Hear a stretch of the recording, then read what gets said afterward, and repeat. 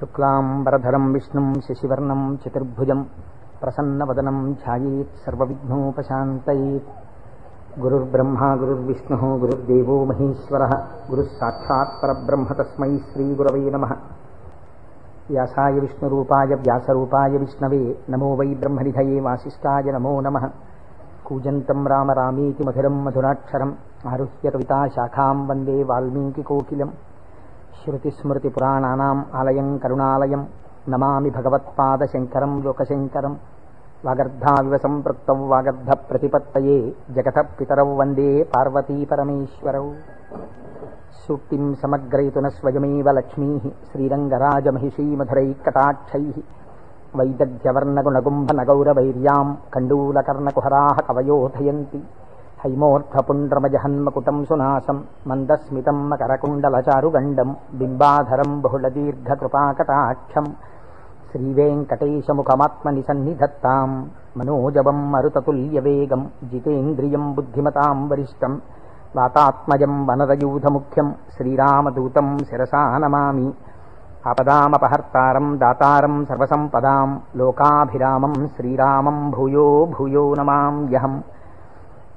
సింధూరారుణ విగ్రహాం త్రినయనాం మాణిక్యమౌళిస్ఫురత్తారానాయకశేఖరాం స్మితముఖీం ఆపీనవక్షోరుహాం పాణిభ్యాం అడిపూర్ణరత్నచషకం రక్తోత్పలం బిభ్రతీం సౌమ్యాం రత్నఘటస్థరక్తచరణాం ధ్యాయేత్ పరేదంబికాం హరి ఓం పరమేశ్వర స్వరూపమైన సభకి నమస్కారం. ఇది ఉత్తరాయణ పుణ్యకాలం. దక్షిణాయనం పూర్తయి మనం ఉత్తరాయణంలోకి ప్రవేశించాం. ఈ ఉత్తరాయణ పుణ్యకాలంలో శివనామం ఒక్కసారి పలికిన వారు ఎవరైనా ఉన్నారా అని గమనిస్తారట అంత మహోత్కృష్టమైన కాలం. విశేషించి అదృష్టం ఏంటంటే మనం ప్రతిరోజు ప్రదోష వేళలో ఈ ఉపన్యాసాన్ని ప్రారంభం చేస్తాం. ప్రదోష వేళ పార్వతీ పరమేశ్వరుల యొక్క అర్ధనారీశ్వర స్వరూపంగా శాస్త్రం భావన చేస్తుంది. అంత పరమ పవిత్రమైనటువంటి అసుర సంధ్య వేళలో సాక్షాత్తుగా శంకరుడు వృషభవాహనారూఢుడై ఈ భూమండలం మీద తిరుగుతూ శ్రీశైల పర్వతం మీద ఒక్కసారి దిగుతారట. అందుకే సంధ్యారంభ విజృంభితం శృతిశిరస్థానాంతరాధిష్ఠితం సప్రేమ భ్రమరాభిరామమసకృత్సద్వాసనాశోభితం భోగీంద్రాభరణం సమస్త సుమన పూజ్యం గుణావిష్కృతం. సేవే శ్రీగిరి మల్లికార్జున మహాలింగం శివాలింగితం అంటారు. ఒక మద్ది చెట్టు నల్లుకున్నటువంటి మల్లెతీగని చూసినటువంటి శంకర భగవత్పాదులు పార్వతీదేవి చేత ఆలింగనము చేయబడిన పరమేశ్వర స్వరూపాన్ని శ్రీశైల పర్వత శిఖరముల మీద దర్శనం చేసి చేసినటువంటి మహోత్కృష్టమైన శ్లోకం అది. అటువంటి శివస్వరూపాన్ని మనం ప్రదోష వేళలో ప్రవచనంగా చేసుకునే ముందు శివపురాణం సామాన్యమైంది కాదు చాలా పెద్ద గ్రంథం అది. అంత పెద్ద గ్రంథంలో మనకి ఉపయుక్తమైనవి ఉన్నాయి. చాలా జటిలమైనవి ఉన్నాయి. నిత్య జీవితంలో వాటిని అనుష్ఠానంలోకి తెచ్చుకోవడానికి అన్ని ఆశ్రమాలకు అలివి కానివి ఉన్నాయి. కనుక నేను అనుకున్నాను శివాస్తోత్ర శతనామ స్తోత్రాన్ని ఉత్తరాయణ పుణ్యకాలం కనుక నేనేదో ప్రవచనం చేయడం కేవలం వినడం కాకుండా ప్రతిరోజు ఈ కార్డు పట్టుకుని వస్తే ప్రదోష వేళలో మనం ఇటువంటి దేవాలయంలో కూర్చుని చెప్పుకున్నటువంటి నామం కోటి రెట్లు ఫలితం ఇస్తుంది. ఒక ముప్పై రోజులో నలభై రోజులో ఈ ప్రవచనాలు కొనసాగినప్పుడు మీరు ప్రతిరోజు ఈ నామాలు పలికారనుకోండి నూట ఎనిమిది ఇంటూ కోటి. అంత నామం చేసినటువంటి ఫలితం మన ఖాతాలో ఈశ్వరుడు వేస్తాడు. దాని మీద వినడం శృణ్వం తపహ అది తపస్సు చేసినటువంటి ఫలితం అవుతుంది. ఉత్తరాయణ పుణ్యకాలంలో ఇంతకన్నా మనం చేసుకోగలిగినటువంటి మహద్భాగ్యం ఏముంటుంది? దీని మీద సుబ్రహ్మణ్యేశ్వర స్వామి వారికి ఇతపూర్వం నాకు తెలిసి కాకినాడ పట్టణంలో ఎన్నడూ జరగనంత అత్యద్భుతమైనటువంటి కార్యక్రమాన్ని మనం ఫిబ్రవరి పది పదకొండు తేదీలలో సుబ్రహ్మణ్యేశ్వర స్వామి వారి ఆవిర్భావము తారకాసుర సంహారము వల్లీ కళ్యాణము ఇవన్నీ శివపురాణాంతర్గతంగా వస్తాయి. ఇవన్నీ విన్న తరువాత రెండు వందల జంటలు పాలకావిళ్ళెత్తి పట్టుకుని కావిడి పట్టుకున్న వాళ్ళకి ఇంకా ఆచంద్ర తారార్కం వంశాభివృద్ధి కోరికలు తీరుస్తానని పరమాత్మ ప్రకటించారు. ద్రవిడ దేశంలో అయితే కావిడి పట్టుకుని వెడుతుంటే సంతానము లేనటువంటి స్త్రీలు పడుకుని వారు దాటేటట్టుగా పడుకుంటారు. వారు దాటితే సుబ్రహ్మణ్యుడే దాటినట్టు. సంతానము కలగకుండా ఉన్నటువంటి ప్రతిబంధకము దానివల్ల తొలగిపోతుంది అని. అటువంటి ఉత్సవం నాకు తెలిసి జరగలేదు. పెద్దలు పూర్వం ఎవరైనా చేసి ఉండి ఉండవచ్చు. అటువంటి ఉత్సవాన్ని మనం ఫిబ్రవరి పదకొండో తారీఖున చేసుకోబోతున్నాం ఇక్కడ. ఆ రోజున సుబ్రహ్మణ్య సంబంధంగా ఒక గొప్ప హోమం జరుగుతుంది. సుబ్రహ్మణ్యుడికి పాల కావిళ్ళు పట్టుకొచ్చిన కావిళ్ళలో పాలతోటే అభిషేకం జరుగుతుంది.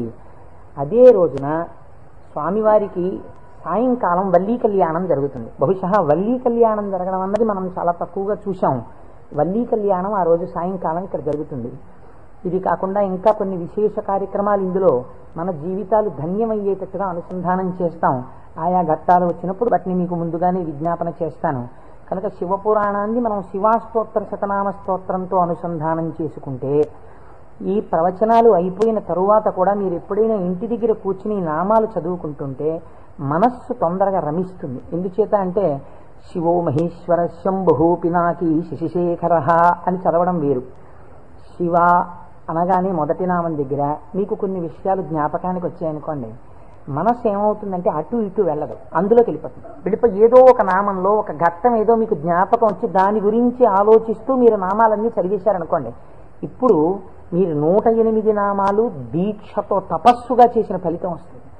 అది అర్థం తెలియకుండా చదువుతున్నారనుకోండి మనస్సు చించలమై ఎక్కడికో వెళితే నామం చెప్పిన ఫలితం ఉంటుంది కానీ మనస్సు లగ్నం కాదు. మనస్సుని కూడా ఏకీకృతం చేసేటటువంటి ప్రయత్నంలో భాగంగా శివ మహాపురాణాన్ని శివాస్తోత్ర శతనామ స్తోత్రంతో అనుసంధానం చేస్తే మనందరికీ ఎక్కువ ప్రయోజనకరంగా ఉంటుంది అని నాకు అనిపించింది. పైగా అందరూ చక్కగా ప్రదోష వేళలో శివనామం చెప్పేటటువంటి అదృష్టాన్ని పొందుతారనిపించింది. నేను అంటాను మీరు కూడా అనండి. ఇది అయిన తర్వాత నేను ప్రవచనం ప్రారంభం చేస్తాను. ఇవాళే కాదు ప్రతిరోజు. ఇవాళంటే కొద్దిగా మనకి ప్రారంభం కాబట్టి ఆలస్యం అయింది రేపటి నుంచి అలా ఉండదు. ఖచ్చితంగా ఎందుకంటే ప్రదోష వేళలో ఈ నామాలు చదవాలి కాబట్టి ఆరు గంటల ముప్పై నిమిషాలు అయ్యేటప్పటికి ఈ నామాలు చదవడం ప్రారంభం చేసేస్తాం. ఎందుకంటే ప్రదోష వేళలో చదివినటువంటి దాని ఫలితం మీరు శివమహాపురాణంలో విందురు కానీ దాని శక్తి ఎలా వెళ్ళిపోతుందో చూద్దురు కానీ ధ్యాన శ్లోకం చెప్పండి. ధవలవపుషమిందోర్ మండలే సన్నివిష్టం. భుజగవలయహారం. భస్మదిగ్ధాంగమీశం. మృగయ పరశుపాణిం చారు చంద్రార్ధమౌళిం హృదయ కమల మధ్యే సంతతం చింతయామి. శివో మహేశ్వర శంభు. పినాకీ శశిశేఖర. वामदेवो विरूपाक्षः विरूपाख्यः। कपर्दीनीलललोहितः शङ्करशूलपानिश्च खट्वाङ्गी विष्णुवल्लभः शिपिविष्णोऽम्बिकानाथः। श्रीकण्ठो भक्तवत्सलः। भवः सर्वस्त्रिलोकेशः। सितिकण्ठः शिवाप्रियः उग्रकपाली कामारी अन्धकासुरसूदनः गङ्गाधरो ललाटाक्षः कालकालः कृपानिधिः भीमः परशुहस्तश्च मृगपानिर्जटाधरः कैलासवासी कवची। कठोरस्त्रिपुरान्तकः। वृषाङ्को वृषभारूढो। भस्मोद्धूलितविग्रहः। सामप्रियः सर्वमयः। त्रयीमूर्तिरनीश्वरः। सर्वज्ञः परमात्मा च। सोमसूर्याग्निलोचनः। हविर्यज्ञमयः सोमः। पञ्चवक्त्रः सदाशिवः। विश्वेश्वरो वीरभद्रो। गणनाथप्रजापतिः। गिरिशो गिरीशो गिरीशोऽनगः भुजङ्गभूषणो भर्गो।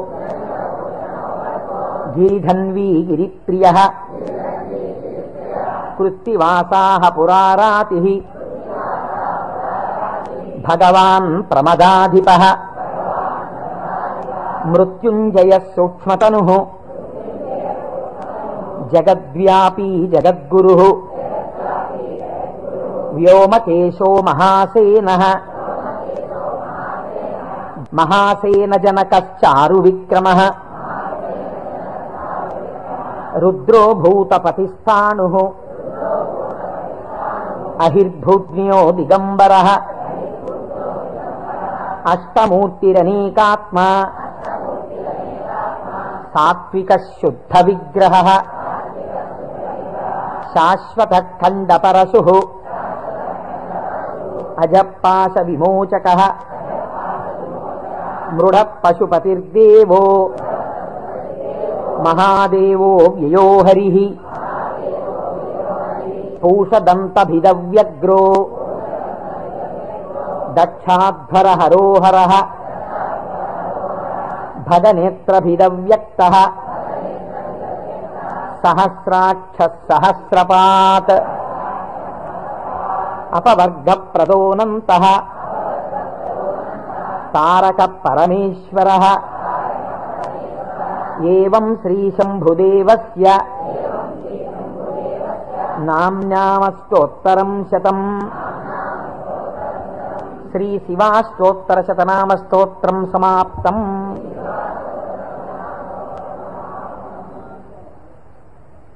హరి ఓం. శివ అన్న శబ్దమే చాలా గొప్పది. ఈ శివాష్టోత్తర శతనామ స్తోత్ర ప్రారంభం కూడా శివ శబ్దంతోటే ప్రారంభమైంది. ఆ పురాణము కూడా శివ మహాపురాణము అని శివశబ్దంతో ప్రారంభమైంది. శివశబ్దాన్ని అమరకోశం వ్యాఖ్యానం చేసింది. అమరకోశం అంటే మనకి సాధికారికమైనటువంటి గ్రంథము. చిత్రం ఏమిటంటే దాన్ని రచించినటువంటి వారు జైనుడు. అమరసింహుడు అనబడేటటువంటి ఒక జైనుడు ఆయన అమరకోశాన్ని రచించి దానితో పాటుగా అనేక గ్రంథాలని రచించారు. కానీ వారు శంకర భగవత్పాదాచార్య స్వామి వారితో వాదనకి దిగినప్పుడు శంకరుల చేతిలో ఓడిపోయారు. ఓడిపోయినప్పుడు ఆయనకి బాధ కలిగింది. నేను శంకరాచార్యుల వారి చేతిలో ఓడిపోయాను. కనుక నేను రచించినటువంటి గ్రంథములన్నీ కూడా పనికిమాలినవైపోయాయని ఆయన ఆ గ్రంథములన్నింటినీ తగలబెట్టేశారు. తగలబెట్టేసినప్పుడు శంకర భగవత్పాదాచార్య స్వామి వారికి తెలిసి వారు బహు కారుణికులు కారుణ్యమూర్తి శంకరులంటే. వారు గబగబా వచ్చి ఎంత పని చేశావయ్యా? గ్రంథాలను ఎందుకు తగలబెట్టేశావు? అని ఉన్న ఒకే ఒక గ్రంథం మిగిలిపోయినటువంటి గ్రంథం అమరకోశం. అమరకోశానికి ఉన్నటువంటి గొప్పతనం ఏమిటంటే అది మన సనాతన ధర్మములకు సంబంధించినటువంటి నామముల విషయంలో ఏ పక్షపాతం లేకుండా చక్కగా శృతి ఎలా ప్రతిపాదించిందో స్మృతులు పురాణములు ఎలా ప్రతిపాదించాయో తాత్వికమైనటువంటి విషయాల్ని నామములకు అనేకమైన విషయములకు ఉండేటటువంటి అర్థాల్ని అలా ప్రతిపాదన చేశాడు అమరసింహుడు. దాన్ని అమరకోశము అని పిలుస్తారు. మనం ఏదైనా ఒక విషయాన్ని ప్రతిపాదన చేసే ముందు సాధారణంగా ఒక్కసారి అమరకోశాన్ని చూస్తూ ఉంటారు. శివశబ్దాన్ని అమరకోశం వ్యాఖ్యానం చేసింది. శివ అన్న మాటని ఏ విధంగా మనం అర్థం చేసుకోవలసి ఉంటుంది? అంటే అమరకోశంలో దాని గురించి అనేక రకాలైనటువంటి అర్థాలు చెప్పారు. అసలు ఈ అర్థం ఏమిటో మీకు తెలిస్తే తప్ప లేదా నాకు తెలిస్తే తప్ప మనం దాని గురించి కొద్దిగా అర్థం చేసుకునే ప్రయత్నం చేస్తే తప్ప అసలు శివ అనేటటువంటి నామానికి ఉన్న అర్థం తెలియదు. ఎందుకంటే శివ శివ అని రెండు శబ్దములు మనకి లోకంలో నానుడిలో ఉన్నాయి. శివ అంటే శంకరుడు. శివ అంటే పార్వతీదేవి ఆయన యొక్క శక్తి స్వరూపం. శివ అంటే అమరకోశం అంటుంది శామ్యతి పరమానంద రూపత్వ నిర్వికారో భవతీతి శివ. నిర్వికారుడై నిర్వికారుడు అంటే మనకి వికారములు ఉంటాయి నేను తరచూ మీకు ప్రస్తావన చేస్తుంటాను. ఈ జగత్తులో ఉన్నటువంటి సమస్త ప్రాణులకు సమస్త జీవులకు ఆరు వికారములు ఉంటాయి ఇవి షడ్వికారములు అంటారు. కాలములో ఏదైనా వచ్చిందనుకోండి దానికి పుట్టినటువంటి తేదీ అని ఒకటి ఉంటుంది. పుట్టిన తేదీ అన్నది పడినది అంటే మీరు ఒకటి గుర్తుపెట్టుకోవాలి. అది షడ్వికారములకు లోనైపోతుంది. ఈ భావన మీ మనస్సులో బాగా రూఢమైందనుకోండి బాగా పూనుకుందనుకోండి అసలు సగానికి సగం లోకం పట్ల ఉండేటటువంటి తాదాత్మ్యత తగ్గిపోతుంది. ఇది కేవలం వినడానికి విన్నారనుకోండి దీని వలన వచ్చేటటువంటి ప్రయోజనం తక్కువగా ఉంటుంది. ఇది బాగా లోపల జీర్ణమైందనుకోండి మీకు అనేక విషయాలు అర్థం అవుతాయి మీరు ఒక్కసారి గమనించండి షడ్వికారములలో ఇక పూర్వం మీరు ఆ వస్తువుని చూడలేదు కానీ ఆ వస్తువు ఆ ప్రాణి ఆ జీవుడు ఒకనొక కాలమునందు ఈ లోకములో పుట్టింది. కాబట్టి ఇప్పుడు దానికి జన్మము అన్న తేదీ ఒకటి వచ్చింది కాలంలో. సరే కాలం అన్నది యథార్థమా అంటే బీజస్యాంతరివంకురో జగదిదం ప్రాంగ్ నిర్వికల్పం పునః మాయా కల్పిత దేశకాల కలనా వైచిత్ర చిత్రీకృతం అన్నారు శంకరాచార్య వారు ఆ తత్వ పరిశీలనాన్ని పక్కన పెడితే ఒక జన్మ తేదీ ఉంది. ఈ జన్మ తేదీలో ఒక ప్రాణి కనపడగానే శాస్త్రం అంది ఆరు విషయాలు గుర్తుపెట్టుకో. ఇత పూర్వము లేనిది పుట్టినది. పుట్టినది మీరేమనాలి? ఎవరో పిల్లాడు పుట్టాడు. వాడు ఏడుస్తున్నాడు. ఆ పిల్లాడు ఉన్నాడండి. పుట్టిన పిల్లాడు ఏడవలేదు. అయ్యో ఏమిటి? పిల్లాడు ఏడవట్లేదు అని కదిపి చూశారు. కదిపి చూస్తే డాక్టర్ గారు వచ్చారు. స్టెప్ పెట్టారు. ఊపిరి తీయట్లేదు. నల్లగా అయిపోయి ఉన్నాడు. అయ్యో అమ్మ నీకు మృత శిశువు జన్మించాడు అన్నాడు. కాబట్టి పుట్టినది. అసలు రెండో వికారం ఒకటి ఉంది. ఉన్నది భవతి. అనగా ఈ లోకములోకి వచ్చినప్పుడు అది ఉన్నది అసలు ఉన్నది అని మీరు అనాలంటే అక్కడే శివ శబ్దం ప్రారంభం మంగళత్వం. ఉన్నది ఉన్నది అలాగే ఉండాలా? అలా ఉండదు పెరగాలి. పెరిగినది. పెరిగినది పెరుగుతూ వెళ్ళిపోతుందా? నేనున్నాను ఎవరి మీదో ఎందుకు పెట్టి చెప్పాలి? కోటేశ్వరరావు అనబడేటటువంటి ఈ శరీరం ఒక డేటు ఈ డేట్ చెప్తే ఏమవుతుందంటే అదో పుట్టినరోజు అనుకుని చాలా మంది పాపం ఇచ్చేసి చాలా అలవాటు చేస్తున్నారు. అందరూ భయం వేస్తుంది నాకు ఆ డేట్ చెప్పడానికి. ఏదో పద్నాలుగు ఏడు పంతొమ్మిది వందల యాభై తొమ్మిదికి ముందు ఈ శరీరం లేదు. పద్నాలుగు ఏడు పంతొమ్మిది వందల యాభై తొమ్మిదిలో ఈ శరీరం వచ్చింది. కాబట్టి ఈ శరీరం వచ్చినది ఉన్నది ఏడిచింది అమ్మ కడుపులోంచి వచ్చి. అలాగే ఉందా మా అమ్మ కడుపులోంచి వచ్చినప్పుడు ఎలా ఉన్నానో అలా ఉన్నానా? పెరిగినది. అబ్బో ఎంత ధ్వజస్తంభం అంత పెరిగిపోయింది ఈ శరీరం. పెరిగినది. ఇది ఇలా పెరుగుతూ ఉంటుందా? ఉండదు. తరిగినది మీరు నన్ను ఇరవై సంవత్సరాల తర్వాత చూశారనుకోండి ఇది తరిగిపోతుంది ఈ శరీరం వడిలిపోయి క్షీణించిపోవడం ప్రారంభమైపోతుంది. తరిగినది తర్వాత ఆయనేనా ఈయన అనవలసి వస్తుంది. మార్పు చెందినది. బాగా క్షీణించిపోయి ఇప్పుడున్నంత శరీరం ఉండదు. అయ్య బాబోయ్ అప్పుడు ఎంత ఉండేవారండి మనిషి? ఆయన ఈయన. అటుకంత అయిపోయారండి అంటాం. కాబట్టి మార్పు చెందినది తరిగినది ఇంకా కొంతకాలం అయిపోయిన తర్వాత నశించిపోయినది. ఇది శరీరం. అంత్యేష్టి సంస్కారం చేయబడిపోతుంది. కాబట్టి ఈ ఆరు వికారములు సమస్త ప్రాణులకు ఉండి తీరుతాయి. జన్మ తేదీ ఉన్నది. చిట్ట చివరి వికారములకు కూడా సమయం ఉన్నది ఈ మధ్యలో ఈ ఆరు వికారములు నడుస్తుంటాయి. ఈ ఆరు వికారములన్నవి లేనిది ఎవరైనా ఉన్నదా? ఉన్నది. అలా ఉన్నదేదో ద- అదే శివ. అది కాలములో పుట్టలేదు కాలములో పెరగలేదు కాలములో ఉండలేదు కాలములో తరగదు కాలములో నశించదు. ఎవరి నుండి వచ్చినదో ఎవరి ఎందు పెరిగినదో ఎవరి లయించిపోతున్నదో వాడు మాత్రం అలా ఉండిపోతున్నాడు. మేకలు వేయింజన్నను భాసురముగనొక్క కోతి పర్ణం బెక్కున్ ఆ కోతులు వేయింజన్నను కోకోయని కొంకినక్క కోయని కూర్చొని అంటారు జానపదులు. అందరూ వస్తారు వెళ్ళిపోతాయి లోకాలన్నీ. చిట్ట చివరికి వెళ్ళిపోయిన లోకాలన్నీ ఎవరిలోకి వెళ్ళిపోయాయి? వాడు లయించిపోతాడా? వాడు లయించిపోడు. వాడిలోకి అన్ని వెళ్ళిపోయి వాడు ఉండిపోతున్నాడు. అలా ఉండిపోయిన వాడెవడు? వాడు పరబ్రహ్మము. వాడికి శాశ్వతుడు వాడికి కదలిక లేదు. వాడు ముందున్నాడు చివరా ఉన్నాడు. అలా ఉన్నవాడెవడో? వాడు నిర్వికారుడు. వాడికి వికారములు లేవు. వాడికి వికారం లేదు కాబట్టి వాడు ఎలా ఉంటాడు? వాడి జుట్టు తెల్లబడదు. కదండి? వాడికి ముసలితనం లేదు. కాలము లొంగదీయలేడు కాబట్టి ఇప్పుడు వాడు నిత్య యవ్వనుడు అందుకే శివుడి గురించి చెప్పినా అమ్మవారి గురించి చెప్పినా మనం ఏం చెప్తామంటే నమశివాభ్యాం నవయవ్వనాభ్యాం అంటాం. ఈ శ్లోకం మా ముత్తాతగారు చెప్పారు. అప్పుడు నవయవ్వను లేవాళ్ళు మా తాతగారు చెప్పారు. అప్పుడు నవయవ్వను లేవాళ్ళు మా ముత్తాతగారు వెళ్ళిపోయారు. మా తాతగారు వెళ్ళిపోయారు. మా తండ్రి గారు చేశారు కొంతకాలం ఆ శ్లోకాలు. మా తండ్రి గారు వెళ్ళిపోయారు. ఇప్పుడు నేను చేస్తున్నాను. నేను చెప్పిన నమ శివాభ్యాం నవయవ్వనాభ్యాం పరస్పరాశ్లిష్టవపుర్ధరాభ్యాం అదేమిటండి మా ముత్తాతగారు తాతగారు తండ్రి గారు నేను నాలుగు తరాలు మారిపోయా ఇంకా నవయవ్వనాభ్యాం నేనా ఆ శ్లోకం మార్చద్దా వృద్ధాప్యం రాదా? రాదు. ఎందుకు రాదు? మీరు కాలమునకు వశులై కాలమునందు మార్పు మీకు వస్తుంది. కాల స్వరూపములో మీ ఎందు మార్పులు తెచ్చేవాడెవడున్నాడో వాడు మార్పునకు అతీతుడుగా సాక్షిగా ఉన్నాడు. కదిలే వస్తువుకి కదలని వస్తువు ఆధారమై ఉంటుంది. మీరు బాగా జ్ఞాపకం పెట్టుకోండి.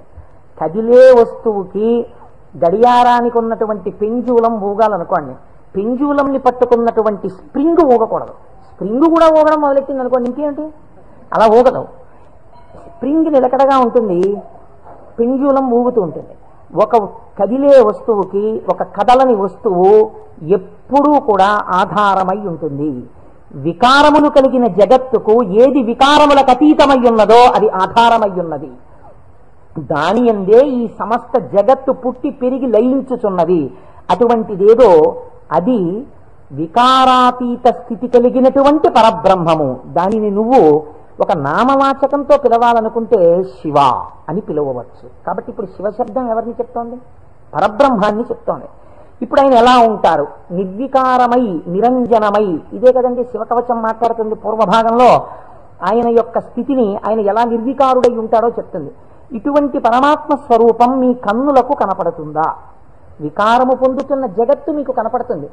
కానీ వికారములు పొందుతున్నటువంటి జగత్తుకి ఆ తను ఆధారముగా ఉన్నవాడు మీకు కనపడతాడా? కనపడడు. ఈయనకి ఒక రూపం తీసుకొచ్చి చూస్తే అలా ఉంటాడు.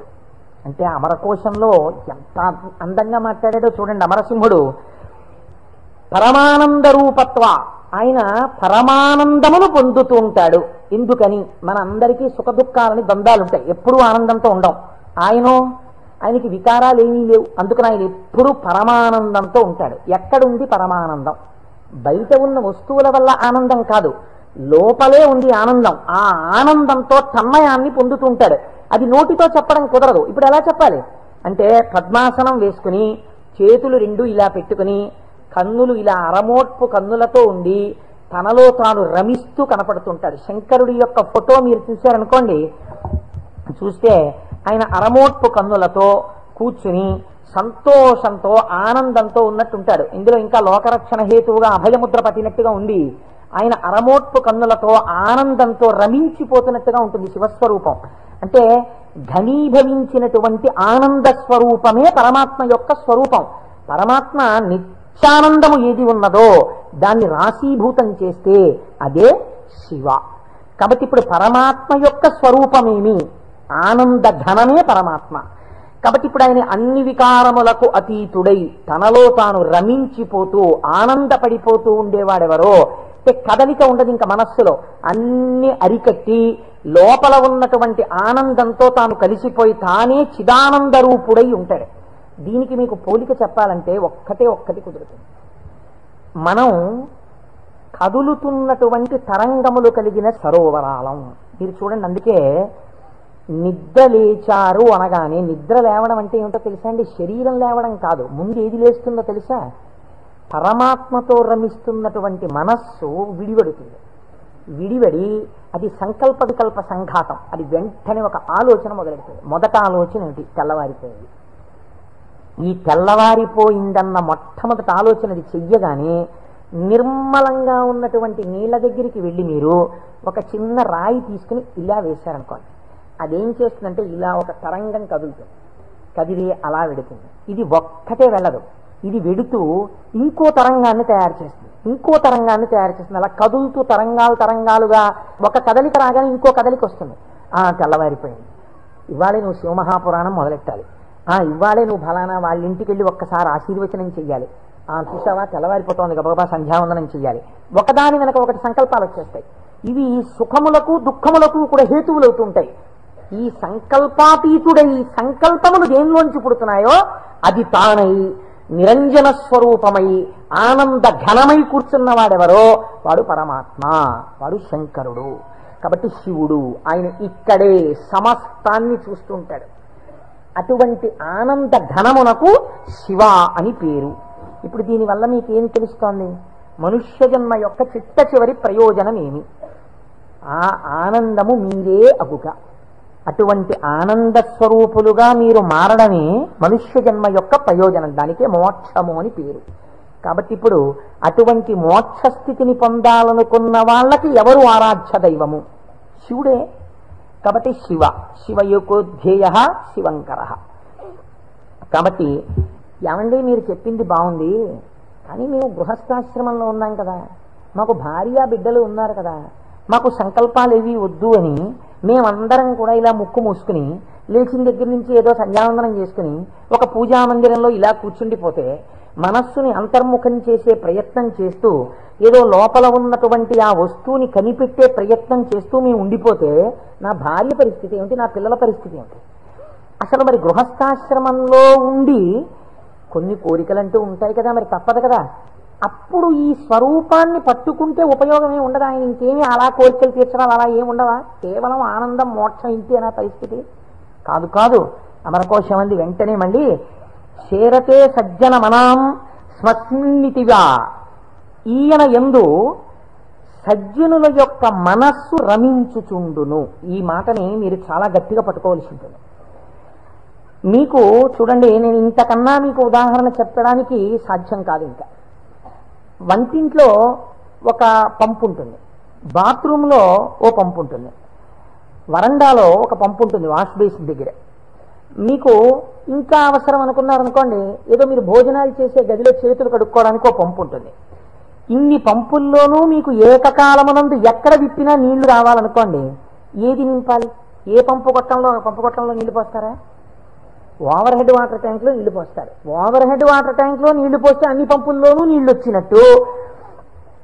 శివస్వరూపాన్ని పట్టుకుంటే అది ఏ రూపంగా ఏ రకంగా ఏ విభూతితో ఏ లక్షణంతో ఏ గుణంగా మీ మనస్సు ఇష్టపడిన ఏ విధానంగా ఒక్కదాన్ని మీరు పట్టుకుని రమించిపోవడం ప్రారంభించినా అది మీకు కావలసిన సమస్తాన్ని ఇస్తుంది.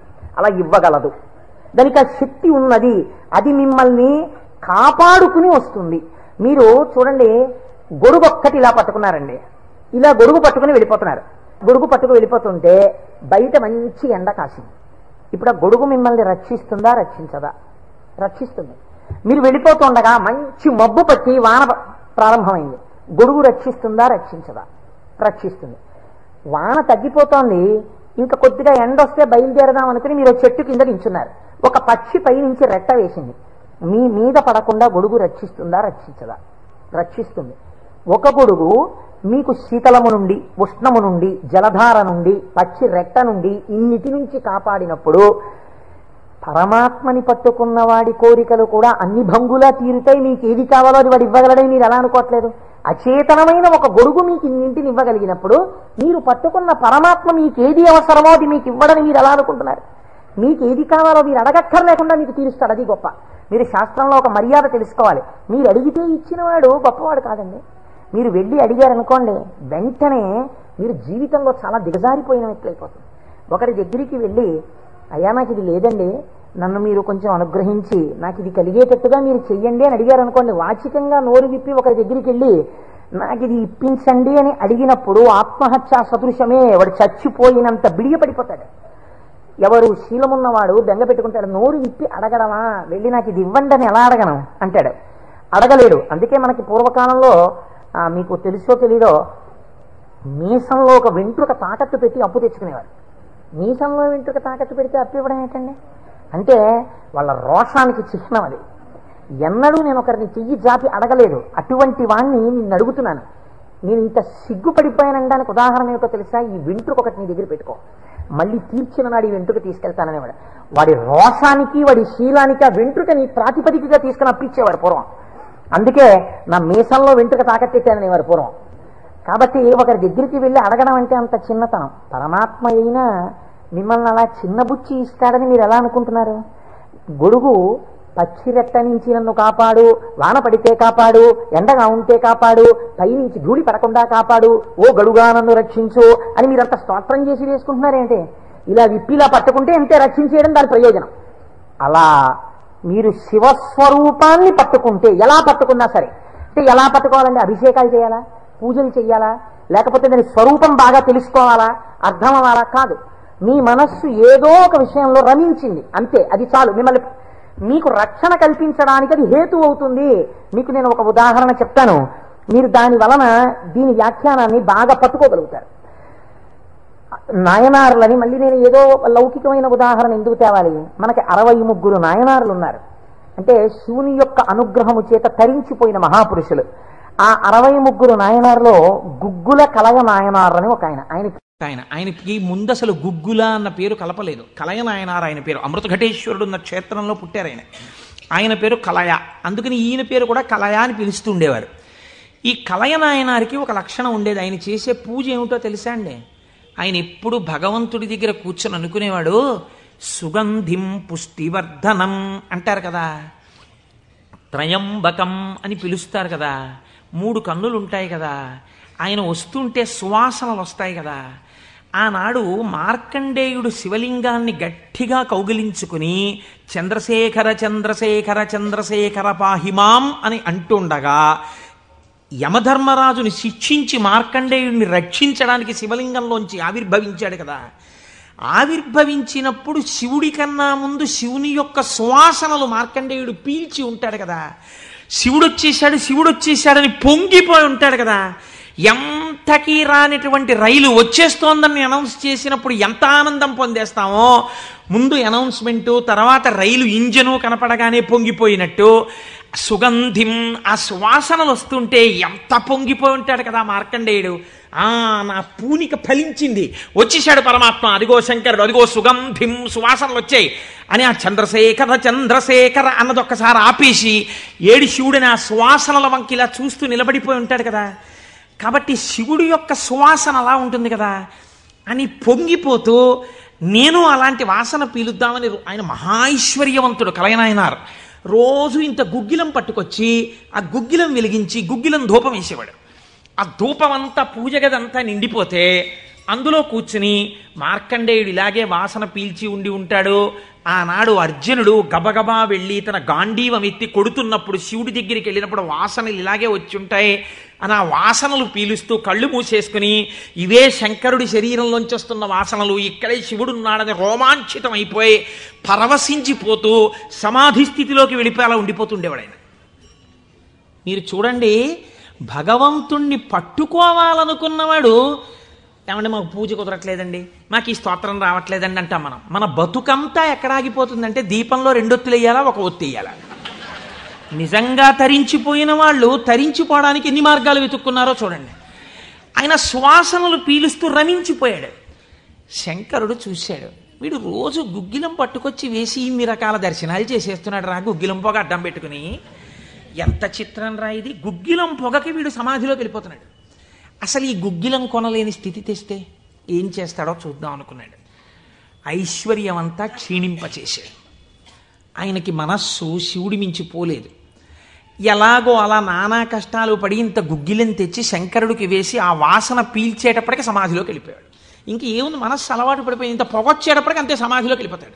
ఎంత తేలికండది అగరత్తు వెలిగించకుండా ఉంటాం కదా అగరత్తు వెలిగిస్తే గుగ్గిలం సమాధిలో సమాధిలోకి ఈ స్థితి చూసి శంకరుడు భార్యా బిడ్డలు తినడానికి కూడా అన్నం మితుకు లేకుండా చేశాడు. చూద్దాం ఏం చేస్తాడు.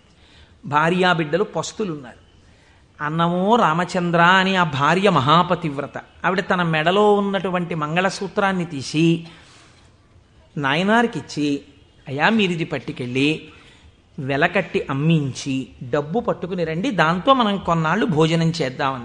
తప్పకుండా తీసుకొస్తానని ఆ మంగళసూత్రాలు చేతిలో పట్టుకుని శివ శివ శివ శివ అని సంతోషపడిపోతూ వెళ్ళిపోతున్నాడు.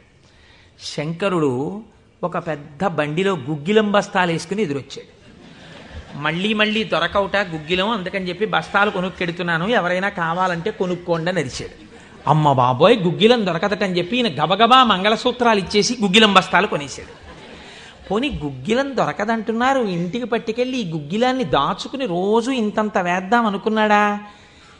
నిజంగా నాడు శంకరుడు వస్తుంటే సుగంధిం పుష్టివర్ధనం ఇదొక్కటే ఆయన సమాధికి కారణం.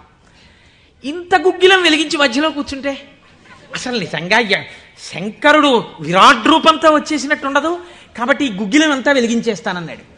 ఇంట్లో వెలిగించేస్తే బాగుండదు పొగలు వచ్చేస్తాయి ఓ గుళ్ళోకి పట్టుకెళ్ళి వెలిగించేస్తే బాగుంటుందని ఈ గుగ్గిలమంతా వేసుకుని ఓ గుడికి పట్టుకెళ్ళి ఈ గుగ్గిలమంతా వెలిగించేసి దాని మధ్యలో కూర్చొని సమాధిని పొందేసి కడుపులో ప్రేగులు నకనకలాడిపోతున్నాయి తెలియదు ఆకలి తెలియదు శరీరం నీరస పడిపోయింది శరీరం అంతా నొప్పులు పెట్టేస్తోంది తెలియదు ఇంట్లో భార్య బిడ్డలు శోషించి పడిపోయే స్థితి వచ్చింది తెలియదు ఆ పొగ మధ్యలో సమాధి స్థితిని పొందాడు. ఇప్పుడు నా భాషలో చెప్పాలంటే భగవంతుడు ఓడిపోయాడు. పరీక్ష పెట్టగలడా ఇహ? ఏం పరీక్ష పెడతాడు? కాబట్టి ఇహ చూడలేకపోయాడు ఆయన. అమ్మ బాబోయ్ ఇదెక్కడ భక్తిరా అని గబగబా కుబేరుణ్ణి పిలిచాడు. కుబేరా ఇలా నా పక్కన ఎన్నాళ్ళు నించుంటావు? నాకేం అవసరం లేదు. అడిగో మహానుభావుడు చూసావా గుగ్గిలం పొగ మధ్యలో కూర్చున్నాడు పెళ్ళం మంగళసూత్రాలు అమ్మేసి వెంటనే వెళ్ళి ఆయన ఇంటిని బ్రహ్మాండమైనటువంటి అంతఃపురంగా మార్చేయి. భార్యకి బిడ్డలకి భూమండలంలో లేనంత ఐశ్వర్యాన్ని ఇచ్చేయి ముందు ఉత్తర క్షణం వాళ్ళకి షడ్రశోపేతమైన భోజనం పెట్టు. అనేటప్పటికి వాళ్ళ ఇల్లు మారిపోయింది షడ్రశోపేతమైన భోజనం వచ్చింది. అయ్యో భర్త గారు ఎక్కడికి వెళ్ళారో అనుకుంటోంది ఆవిడ అశరీరవాణి వినపడింది. అమ్మా నీ భర్త భక్తి ముందు లొంగిపోయాడమ్మా శంకరుడు మహదైశ్వర్యం ఇచ్చేశాడు నీకు. ఆయనో అన్నం తిందామన్న ఆలోచన లేదు. ఆ గుగ్గిలం పొగలో కూర్చుని ఉన్నాడు ఇలాగా. కూర్చునుంటే ఇప్పుడు ఎవరు మాట్లాడాలి? ఎవరే నాన్న అన్నం తినరా అని. అమ్మా నాన్నగారు కోరుకున్న కోరికోటి ఉంది. నువ్వు ఎలా అయినా డాక్టర్ అయిపో. ఇంజక్షన్ చేసేశారు ఆ పిల్లకి. మూడేళ్ళు అయిపోయినా నాలుగేళ్ళు అయిపోయినా ఇరవై ఒక్కేళ్ళు వచ్చేసినా ఇప్పుడు నేను ఎంబీబీఎస్ చదివితే రేపు పెళ్ళి కొడుకు దొరుకుతాడా అని కూడా చూసుకోకుండా తల్లిదండ్రుల కోరిక తీర్చడం కోసమని వ్యగ్రతతో చదివేసిన పిల్లలా. ఇప్పుడు ఆ తల్లిదండ్రులే వచ్చి చూసే అన్నం తినవే అలా చదవకే ఆరోగ్యం పాడైపోతుంది అన్నట్టు ఎవడు పరీక్ష పెట్టాడో వాడే దిగొచ్చాడు. దిగొచ్చి ఎవడు? ఆ త్రయంబకం నిజంగా సువాసన వచ్చాయి వచ్చి ఆనాడు మార్కండేయుడు బాహ్య స్మృతిని పొందాడు. ఈయన పొందలేదు. పొందకుండా కూర్చున్నాడు. ఇప్పుడు ఆ పరబ్రహ్మం ముట్టుకోవలసి వచ్చింది ముట్టుకుని కదిపాడు. ఓయ్ కలయా అని పిలిచాడు. పిలిస్తే ఆయన గభాలన బాహ్య స్మృతిని పొంది అబ్బా శంకరుడు వచ్చేసాడన్నాడు నిజంగా కనపడితే ఇలా అరుపులు కేకలు ఉండవు. కందులంబట నీరు కారిపోతూ ఆ స్వామి పాదాల మీద పడిపోయి ఏ సుగంధిం పుష్టివర్ధనం అన్నాడో. ఆ సువాసన పీలుస్తూ అలా పడిపోయి ఉండిపోయాడు. శంకరుడు భుజాలు పట్టుకుని లేపి ఒరే నాన్న నువ్వు ఇంటికి వెళ్ళింత అన్నం తినరా నా కడుపు నిండుతుంది తొందరగా బయలుదేరరా నాయన ఇక్కడ ఎన్ని నైవేద్యాలు పెట్టినా నాకు వంట పట్టట్లేదురా నువ్వు ఇలా పడిపోతే తొందరగా వెళ్ళరా బాబు నీకు ఎక్కడ లేని ఐశ్వర్యం ఇచ్చేశాను. కావలసినంత గుగ్గిలం వేసే ముందు వెళ్ళి అన్నం తినన్నాడు అప్పుడు ఆయన ఇంటికి వెళ్ళాడు. ఇంటికెళ్ళి షడ్రశోపేతమైనటువంటి భోజనాన్ని నాయనార్ స్వీకరించాడు. దీన్ని గుగ్గిల నాయనార్ అంటారు పెరియ పురాణంలో. ఎందుకంటే శివపురాణం చెప్పుకుంటూ నాయనార్ల చరిత్రని అనుసంధానం చేసి ఉత్తరాయణ పుణ్యకాలంలో నాయనార్ల గురించి వింటే పార్వతీ సహితుడైనటువంటి ఆ పరమశివుడు పొంగిపోయి పరవశించిపోతాడు. అందుకే లౌకికమైన ఉదాహరణలు మానేసి అవసరమైన చోట నాయనార్ల చరిత్రలే కలిపేద్దాం. ఇలా అరవై మూడు మంది నాయనార్ల గురించి నేను చెప్పగలిగితే నా జన్మ ధన్యమైపోతుంది అని ఒక నాయనార్ని కలిపాను ఇవాళ ఒకనాడు ఒక విచిత్రం జరిగింది. భక్తి అంటే ఎంత చిత్రంగా ఉంటుందో చూడండి. ఈ గుగ్గిల నాయనార్ జీవితంలోనే ఆ పక్కనే ఉన్నటువంటి రాజ్యంలో ఒక శివలింగం ఒకటి ఉంది. ఆ శివలింగం మొన్నను మేము కంచి వెళ్ళాం. ఆ కంచి వెళ్ళినప్పుడు శివలింగం ఇలా ఉంటుంది గొట్టంలాగా. కింద వెడల్పుగా ఉంటుంది పైకి వెళ్ళే కొద్దీ సన్నగా ఉంటుంది. అటువంటి శివలింగం ఒకటి బాగా ఎత్తుగా ఉన్నటువంటి పీఠం మీద ఉంది. ఒక చిన్న పిల్ల ఆ శివలింగం దగ్గరికి వెళ్ళింది. అరమరిక తెలియని పిల్ల. ఆ పిల్ల వెళ్ళి చేతిలో ఒక తుమ్మి పువ్వు పట్టుకుని వెయ్యాలనుకుంది. ఆ పీఠం పట్టుకుంది ఎగిరింది ఎక్కింది అందలేదు. ఆ పిల్ల ఏడుపు మొదలెట్టింది. ఏడుపు మొదలెట్టి శివా శివా నువ్వు నాకు అందట్లేదు పువ్వు ఎలా వేయనంది? శంకరుడు ఆ భక్తికి పరవశించిపోయాడు. ఇది భగవంతుడు దేనికి కట్టుబడతాడు? ఆ భక్తికి కట్టుబడతాడు. వెంటనే ఇలా ఉన్న శివలింగం ఇలా వంగిపోయి ఇలా వంగిపోతే ఆ పిల్లకేం తెలుసు? శివలింగం వంగిపోయింది నా కోసం అది చిన్నపిల్ల పొంగిపోయి తప్పట్లు కొట్టేసి కాసేపు ఆడేసి రెండు పువ్వులు వేసేసి వెళ్ళిపోయింది ఆ పిల్ల. మరునాడు యథాలాపంగా అనేక శివలింగాలు ఉంటుంటాయి కదా గుళ్ళో. ఈ శివలింగం వంగడంలో లోపలున్న శివలింగం కూడా వంగిపోయింది. అర్చక స్వామి చూసి భయపడిపోయాడు. ఇదేమిటి శివలింగం ఇలా వంగిపోయిందని మహారాజుకు తెలిసింది. ఇది ఏదో అరిష్టం జరుగుతుంది. శివలింగం వంగింది ఏమిటని భయపడ్డారు. ఈ శివలింగానికి వంపు దిద్దిలా పైకి తీయాలి.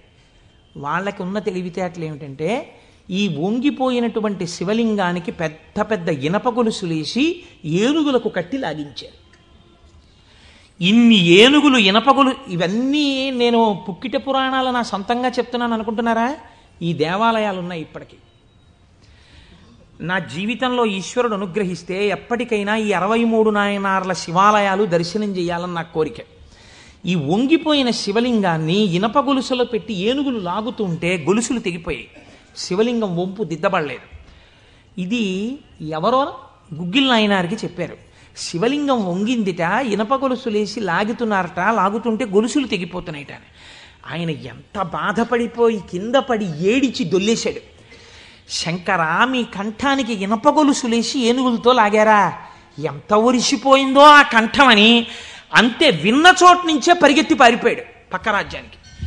పారిపోయి గుళ్ళోకి వెళ్ళి అన్నం లేదు నీళ్ళు లేవు ఒగరుస్తూ ఒంటి నిండా చెమటలు పట్టుకుని ఈశ్వర మీకు జరిగినటువంటి అపరాధం నా శరీరమునకు పొందేటటువంటి ఖేదంతో పోవాలని మీ వంపు దిద్దడం కాదు మీ వంపు దిద్దడానికి మీకు ఇనప గొలుసు లేచి లాగినప్పుడు మీ కంఠం నొక్కుకుని ఉంటుంది.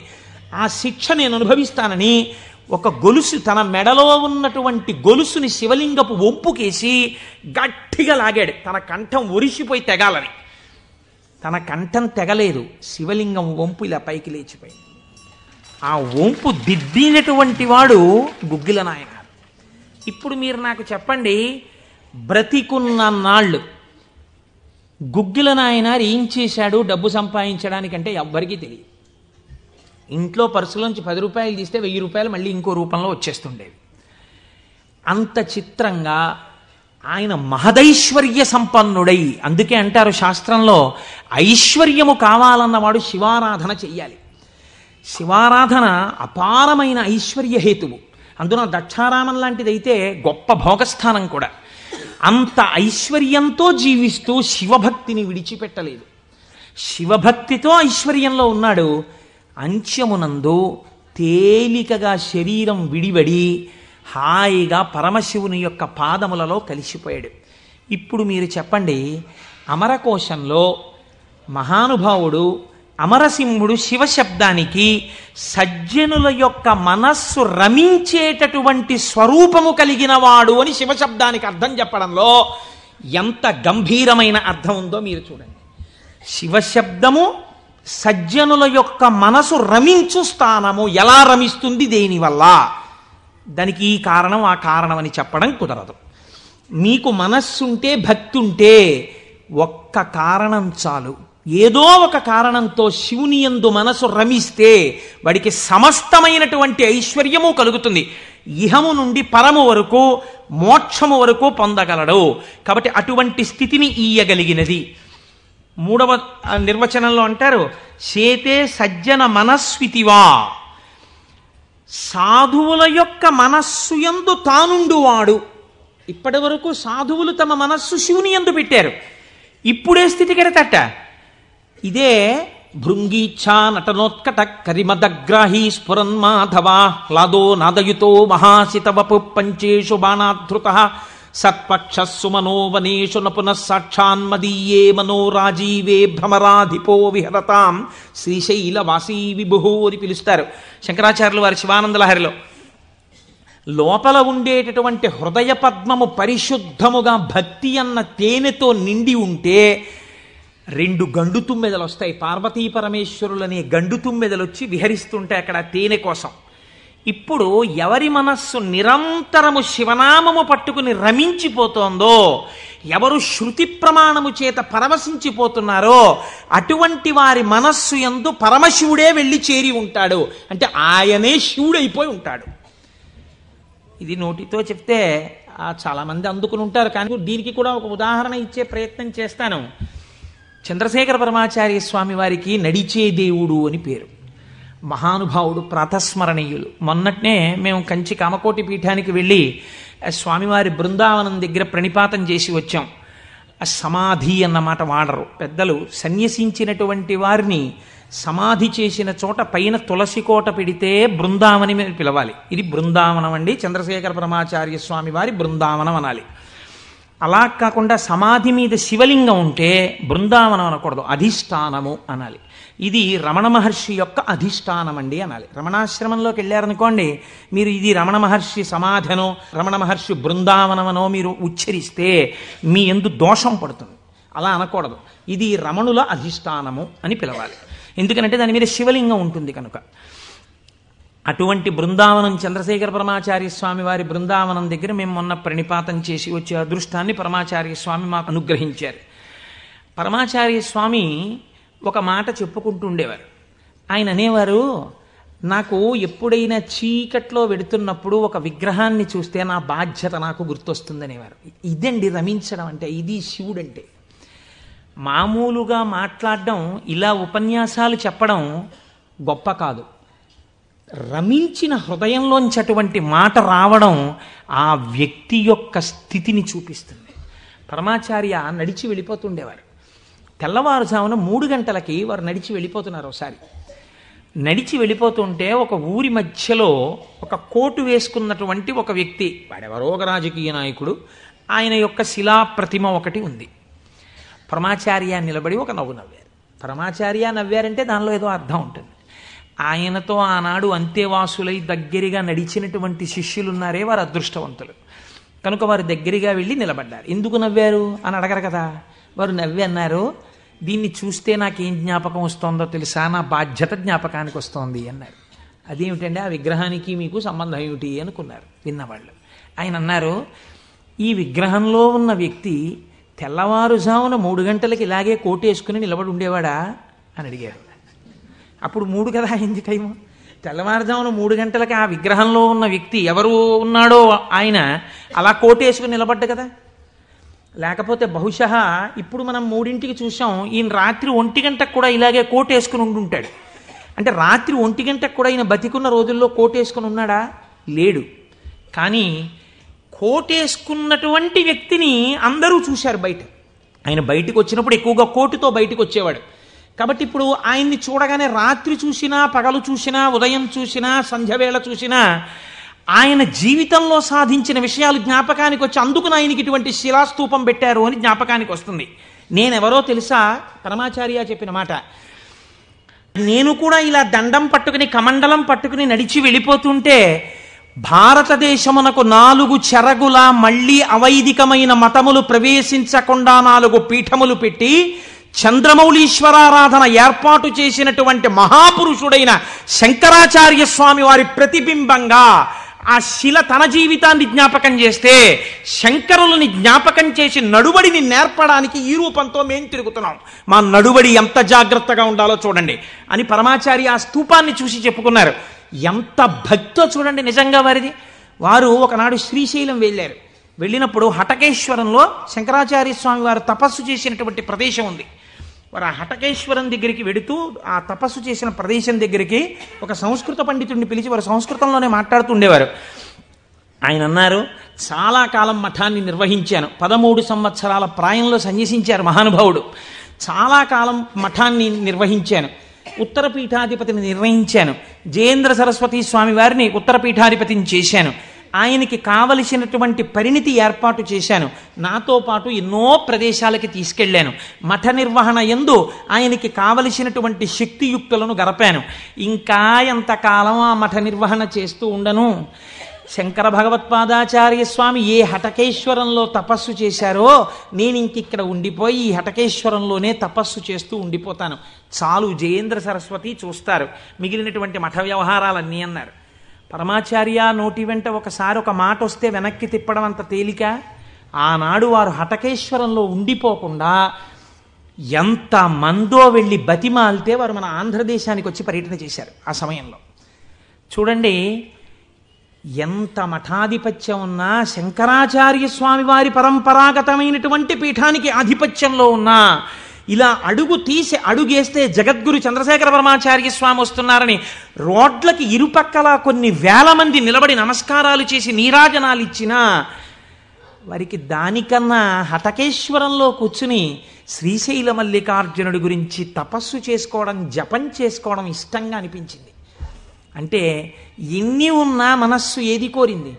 ఆ శివుణ్ణి కోరింది గురువులైన శంకరాచార్యుల వారిని కోరింది. అలా కోరింది కాబట్టే ఈనాటికి వారు నడిచే దేవుడయ్యారు. అందుకే ఈ శివమహాపురాణం చిట్ట చివరిలో బహుశ ఆంధ్రదేశంలోనే కని విని ఎరుగని రీతిలో పార్వతీ కళ్యాణం మనం చెయ్యబోతున్నాం కాకినాడ పట్టణంలో. కాకినాడ పట్టణం సువర్ణాక్షరాలతో లిఖింపబడిందండి. మనం అందరం కలిసి ఇక్కడి నుంచి కొన్ని వేల కార్డులు పోస్ట్ చేశాం తరిగొండ వెంగమాంబ గారి గురించి. అది తిరుమల తిరుపతి దేవస్థానంలో నిస్సందేహంగా కదలిక తీసుకొచ్చింది. కె. విశ్వనాథ్ గారిని పిలిచి సదస్సు నిర్వహించి నాకు పేపర్ కటింగ్స్ వచ్చాయి తిరుపతి నుంచి. తరిగొండ వెంకమాంబ గారి బృందావనాన్ని సందర్శనీయ స్థలంగా తిరుమల తిరుపతి దేవస్థానం మార్చబోతోంది.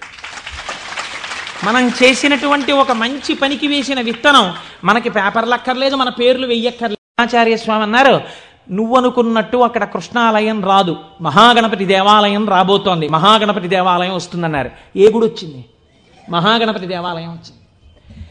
ఆయన శివుడైపోయారు. ఆయన నోటి వెంట వచ్చిన మాట నిజమైపోయేది అంతే ఆయన నిజం చెప్పడం కాదు ఆయన చెప్పింది నిజమవుతుంది. ఈ స్థితిని పొందడం శివుడే ఆయన ఎందున్నాడు తాను శివుడై ఉన్నాడు ఎన్ని మెట్లు ఎక్కుతున్నాడో చూడండి. ఇది తురీయ అవస్థ నాలుగవ అవస్థకి వెళ్ళిపోతారు. అందుకే పీఠాధిపతులు కనబడితే నాలుగు నమస్కారాలు తల్లిదండ్రులు కనబడితే ఒక నమస్కారం ఈశ్వరాలయంలో మూడు నమస్కారాలు. శాస్త్రం విధించింది. అది ఎందుకు చేయాలి? కారణమేమి? రేపటి రోజు నేను దాన్ని అనుసంధానం చేసే ప్రయత్నం చేస్తాను. అది కూడా శివ సంబంధమైన విషయమే అంతర్గతంగా వస్తుంది మీకు. కాబట్టి చూడండి. అందుచేత శేతే సజ్జన మనస్వితివా. సాధువులు సాధువుల యొక్క మనస్సులు తన యొక్క స్థానముగా చేరి ఉన్నవాడెవరో? ఆయనకి శివ అని పేరు. అంటే అంత సులభుడై ఉన్నవాడు. శివం కళ్యాణం తద్యోగాద్వా. శివ అన్న శబ్దానికి అర్థమేమి? శుభము భద్రము శోభనము మంగళము కళ్యాణము శ్రేయస్సు వీటిని శివ అని పిలుస్తారు. ఇవన్నీ పర్యాయ పదాలు. కొద్ది కొద్ది తేడాలతో. మీ ఇంటికి ఒక మంగళం జరగాలనుకోండి. అంటే ఉదాహరణకి పుట్టిన వాళ్ళు పుట్టినట్టే ఉండిపోవాలని మనం కోరుకోం కదా? నాకో ఇద్దరు బిడ్డలు ఉంటే వాళ్ళు పెరిగి పెద్దవాళ్ళు అయిన తర్వాత నాకు కోడలు అల్లుడు రావాలని ఉంటుంది. ఎవడి నామస్మరణ వలన కేవలము శుభమే జరుగుతుందో వాడిని శివ అని పిలిచారు. మీకు నేను ఒక దేవాలయ ప్రాంగణంలో శివమహాపురాణ ప్రవచన సందర్భంలో మీకు ఒక విషయం విజ్ఞాపన చేస్తున్నాను. ఇది పరమసత్యం. అబద్ధాలు చెప్పుకోవలసిన దౌర్భాగ్యం నాకు లేదు. బహుశా మా దొరగారికి ఒక్కరికి తెలిసేమో ఆయన. నాకు పేరు జ్ఞాపకంలో లేదు. ఈ ఊళ్ళోనే ఒక వ్యక్తి ఉండేవారు. ఆయన ఒకసారి నా దగ్గరికి వచ్చి అంటే నా ఉద్దేశం ఇలాంటి బాధల్లో ఉన్న వాళ్ళందరినీ మా ఇంటికి వచ్చేసి నన్ను అడగమని కాదు.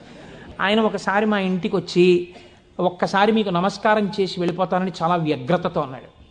అంటే నేను ఆఫీస్కి వెళ్ళిపోతున్నానండి టైం అయిపోతుంది. ఇప్పుడు నమస్కారం పెట్టి మాట్లాడడం ఎందుకు అక్కర్లేదు నేనేం మాట్లాడను. ఒకసారి నమస్కారం చేసి వెళ్ళిపోతానని సరే చెయ్యండి. కానీ అది మీరు నమస్కారం చేస్తానన్నట్టు లేదు ఒక్కసారి మిమ్మల్ని కొడతానన్నట్టుంది. ఎందుకంత భావన వ్యగ్రత అన్న.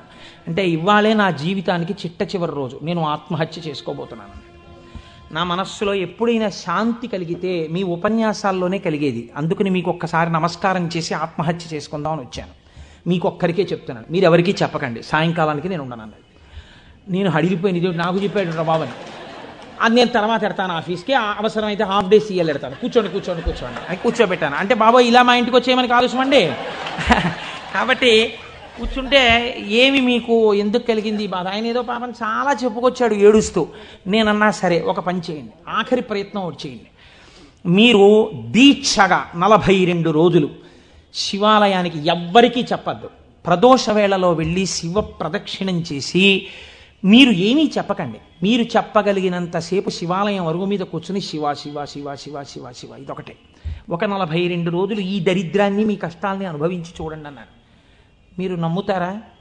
ఆ వ్యక్తి నా దగ్గరికి వచ్చి నా జీవితంలో ఆశించని రీతిలో నా జీవితానికి ఒక కొత్త మలుపు తిరిగిందండి. నేను వరంగల్ వెళ్ళిపోతున్నాను నేను సెటిల్ అయిపోతున్నానని చెప్పాడు. ఆ వ్యక్తే నాకు ఈ మధ్యనే మళ్ళీ ఫోన్ చేసి కోటేశ్వరారు ఇప్పుడు నేను ఎంత ఆనందంగా ఉన్నాను అనండి. ఒక్కసారి మీరేమైనా వరంగల్ వస్తారేమిటండి? ఉపన్యాసాలకి మీ దర్శనానికి వద్దాం అనుకుంటున్నాను. నేను కూడా కాకినాడ అన్నాడు.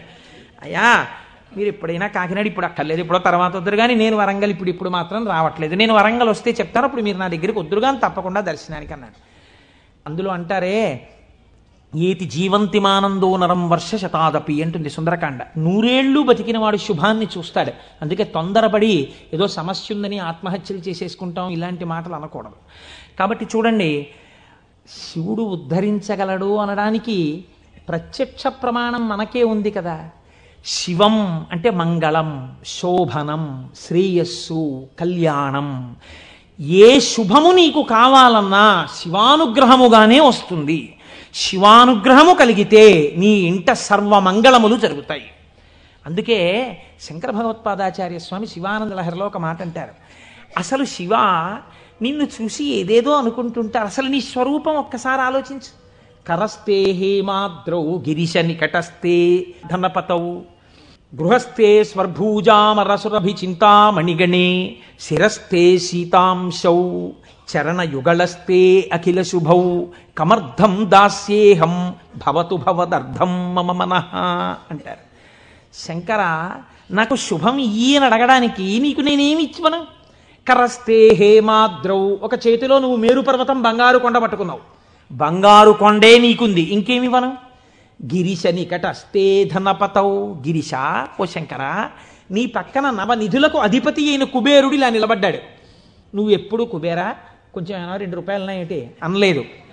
ఆయనే ఎప్పుడు ఏమైనా అడుగుతావేమోనని ఇలా నిలబడ్డా ఆయన కోరిక తీరలేదు. గిరిశ నికటస్తే ధనపతౌ. కుబేరుడు నీ పక్కన ఉన్నాడు. గృహస్థే స్వర్భూజామరసురభి చింతామణిగణే నీ ఇంట కల్పవృక్షాలు కామధేనువులు చింతామణులు రాసులు పోసి ఉన్నాయి. ఎన్ని కామధేనువులో ఎన్ని కల్పవృక్షాలో చింతామణులతో గోడలు కట్టారు నీ ఇంట్లో? పోన్లేవయ్యా ఇవన్నీ ఉన్నాయి కానీ నీకేదో మోక్షం ఇస్తాను నీకేమైనా అనారోగ్యం వస్తే తగ్గిస్తానడానికి? నీ యొక్క శిరస్సు మీద సీతాంశు చంద్రబింబం ఉంది చంద్రరేఖ ఉంది. కాబట్టి మోక్షం ఇచ్చే అధికారం నీకుంది. ఇంకా నీకు నేనేమి ఇవ్వను ఆ నాది నాది అన్నది ఒక్కటి ఉంది నా దగ్గర నీది కాదని నా దగ్గర ఉన్నది అన్నది. ఏమిటో తెలుసా? కమర్థం దాస్యేహం భవతు భవదర్థం మమ మనః. నాది అని అస్తమానం నన్ను బంధనంలో పడేసే ఈ మనస్సు నీకు ఇచ్చేస్తా బుచ్చేసుకో. ఏదో రకంగా ఆయన పాదాల దగ్గర చేరడానికి శంకరాచార్యులు వారు మన కోసం చేసినటువంటి శ్లోకం. కమర్థం దాస్యేహం భవతు భవదర్థం మమ మనః మమ అన్న చోట నేను అన్న శబ్దం శంకరాచార్యుల వారి కోసం అండి? ఆయన అపరశంకరుడు. మన కోసం. ఇది జగద్గురువుల యొక్క కారుణ్యం. కనుక అటువంటి శంకరుడికి మీరేమి ఇవ్వాలి? మీరేమి ఇవ్వక్కర్లేదు. కానీ మీరు ఇలా నమస్కరిస్తే చాలు. ఒక్కసారి శివ అంటే చాలు. ఆయన పొంగిపోతాడు. అందుకు కదా మనం ప్రదోష వేళలో ఉపన్యాసం మొదలు పెట్టే ముందు శివాష్టోత్తర శతనామ స్తోత్రాన్ని ఒక్కసారి అనుసంధానం చెయ్యాలి అని మనం అనుకుంటున్నాం. మీరు చూడండి నేను ఇక్కడ మీకు ఒక గంభీరమైనటువంటి విషయాన్ని వాళ్ళ ప్రస్తావన చెయ్యాలి అని అనుకుంటున్నాను. ఆనందం వస్తే కళ్ళజోడు తీసేస్తుండడం మళ్ళీ పెట్టుకు చూసుకుంటూ ఉండడం. బాగుందండి మీరు చెప్పింది. శంకరుడు అంతటి గొప్పవాడే. ఇంతవరకు బాగుంది కానీ ఇలా ఆయన ఎప్పుడూ మా కంటితో మేము చూడని రూపంలో ఉండడమేనా?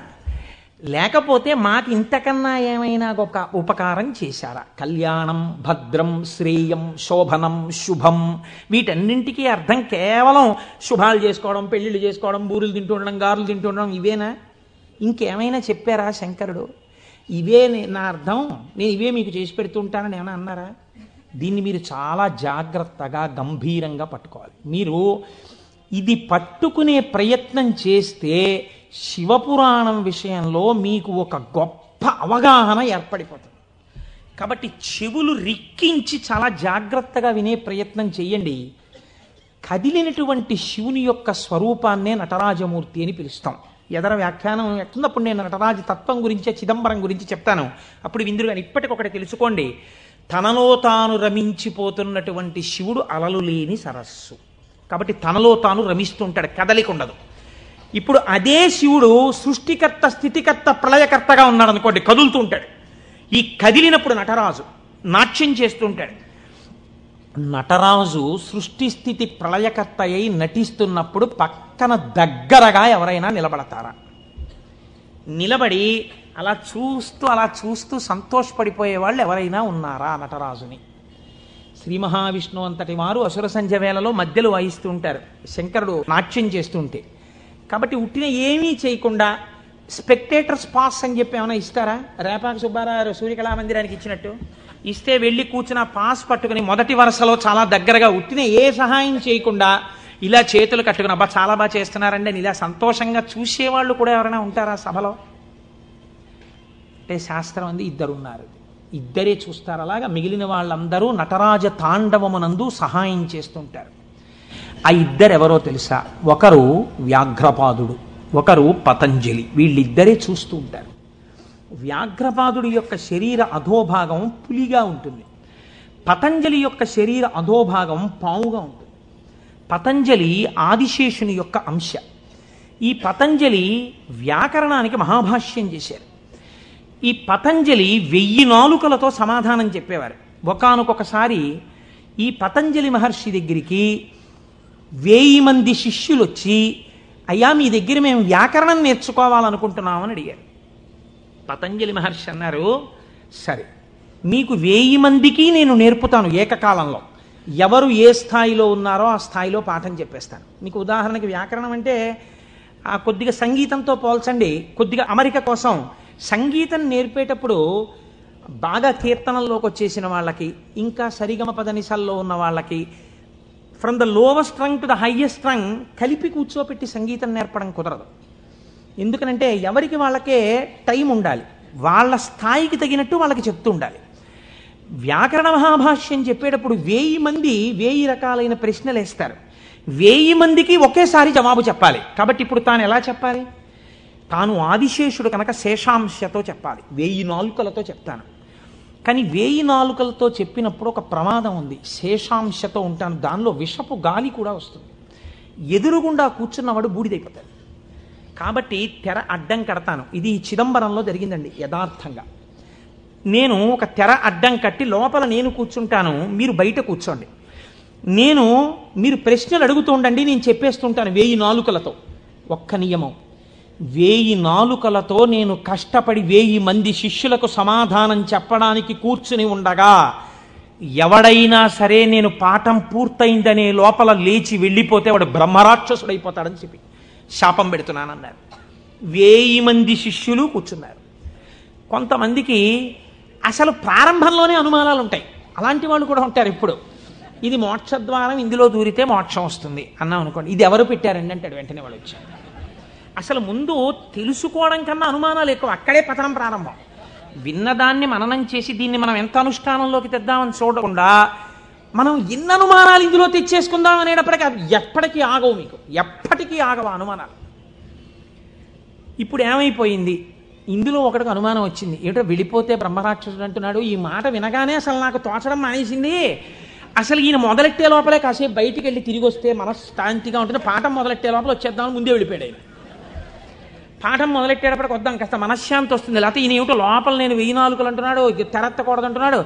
ఓరు నాయనో ఇదంతా ఏ గొడవగా ఉంటుందో వెళ్ళిపోతే బ్రహ్మరాక్షుడు అంటాడు ముందే కాస్త తిరిగి వస్తే అలా తిరిగి వచ్చేస్తే కాస్త మనశ్శాంతిగా ఉంటుంది. అప్పుడు వచ్చి కూర్చుందాం పాఠానికని ముందే వెళ్ళిపోయాడు. అంటే ఎలా ఉంటారో చూడండి లోకం. ఇప్పుడు పతంజలి వ్యాఖ్యానం మొదలుపెట్టారు. వేయి నాలుకలతో చెప్పేస్తున్నారు ఆయన పాఠం. ఒక ఆయనకి అనుమానం వచ్చింది. ఏంటంటే వెయ్యి మంది అడుగుతున్నాం వెయ్యి మందికి చెప్పేస్తున్నాడు సమాధానాలు? ఎలా చెప్తున్నాడు రా ఈయన? తెరడ్డం కట్టాడు నేను చెప్తాను లేండి అన్నాడు. నిజంగా అసలు ఎలా చెప్పగలుగుతున్నాడో ఒక్కసారి చూద్దామని.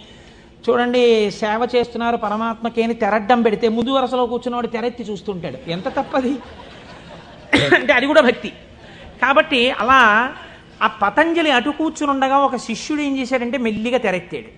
తెరెత్తి చూశాడు.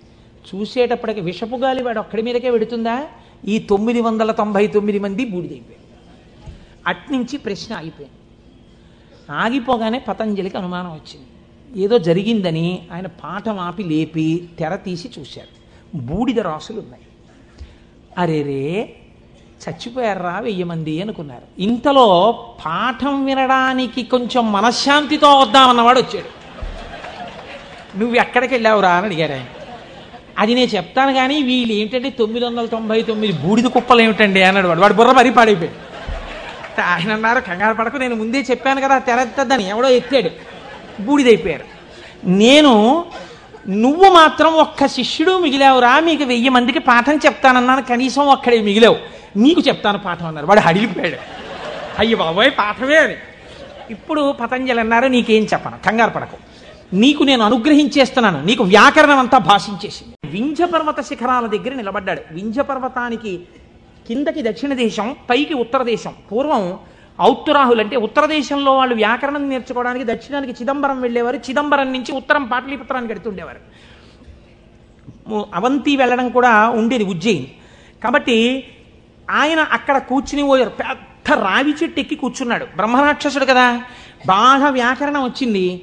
అందుకని ఇటుగా వస్తున్న వాళ్ళని ఆపేవాడు. ఆ రోజుల్లో వ్యాకరణం నేర్చుకోవాలి అంటే ఆ రోజుల్లో ఏంటి యథార్థం అంతే వ్యాకరణం నేర్చుకోవాలి అన్నా వేదం నేర్చుకోవాలి అన్నా ఉపనయనం చేసుకోవాలి. ఉపనయనం చేసుకుని గాయత్రీమాత యొక్క అనుగ్రహాన్ని పొందితే తప్ప వేదం చదవడానికి కానీ వ్యాకరణం చదవుకోవడానికి కానీ అర్హత ఇచ్చేవారు కాదు. కాబట్టి ఇప్పుడు ఈయన ఉపనయనం అయిపోయినటువంటి బ్రహ్మచారులు వే- ఎవరైనా వ్యాకరణం నేర్చుకోవడానికి ఎడుతుంటే వాళ్ళని ఆపుతుండేవాడు ఆపుతూ వ్యాకరణ సంబంధమై పతంజలికి మాత్రమే తెలుసున్న ఒక గంభీరమైన లోతైన ప్రశ్న అడుగుతుండేవాడు.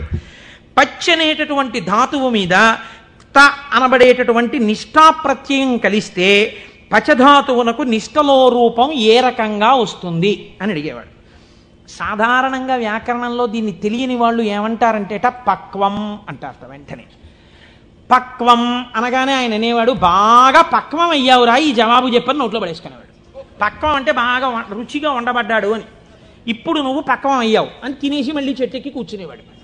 ఇలా చాలామంది బ్రహ్మచారుల్ని తినేసాడు తినేసి కూర్చుంటే గగ్గోలు పెట్టడం మొదలెట్టారు. ఈ బ్రహ్మచారి ఎవడో అక్కడ కూర్చున్నాడు బ్రహ్మరాక్షసుడు వాడు వ్యాకరణ సూత్రం అడిగి తినేస్తున్నాడు పతంజలి మహర్షి చూశారు. అయ్యయ్యో వీడికి నేను యోగ్యుడైన వాడికి చెప్పరా అంటే వీడికి ప్రశ్న అడిగి తినేస్తున్నాడు.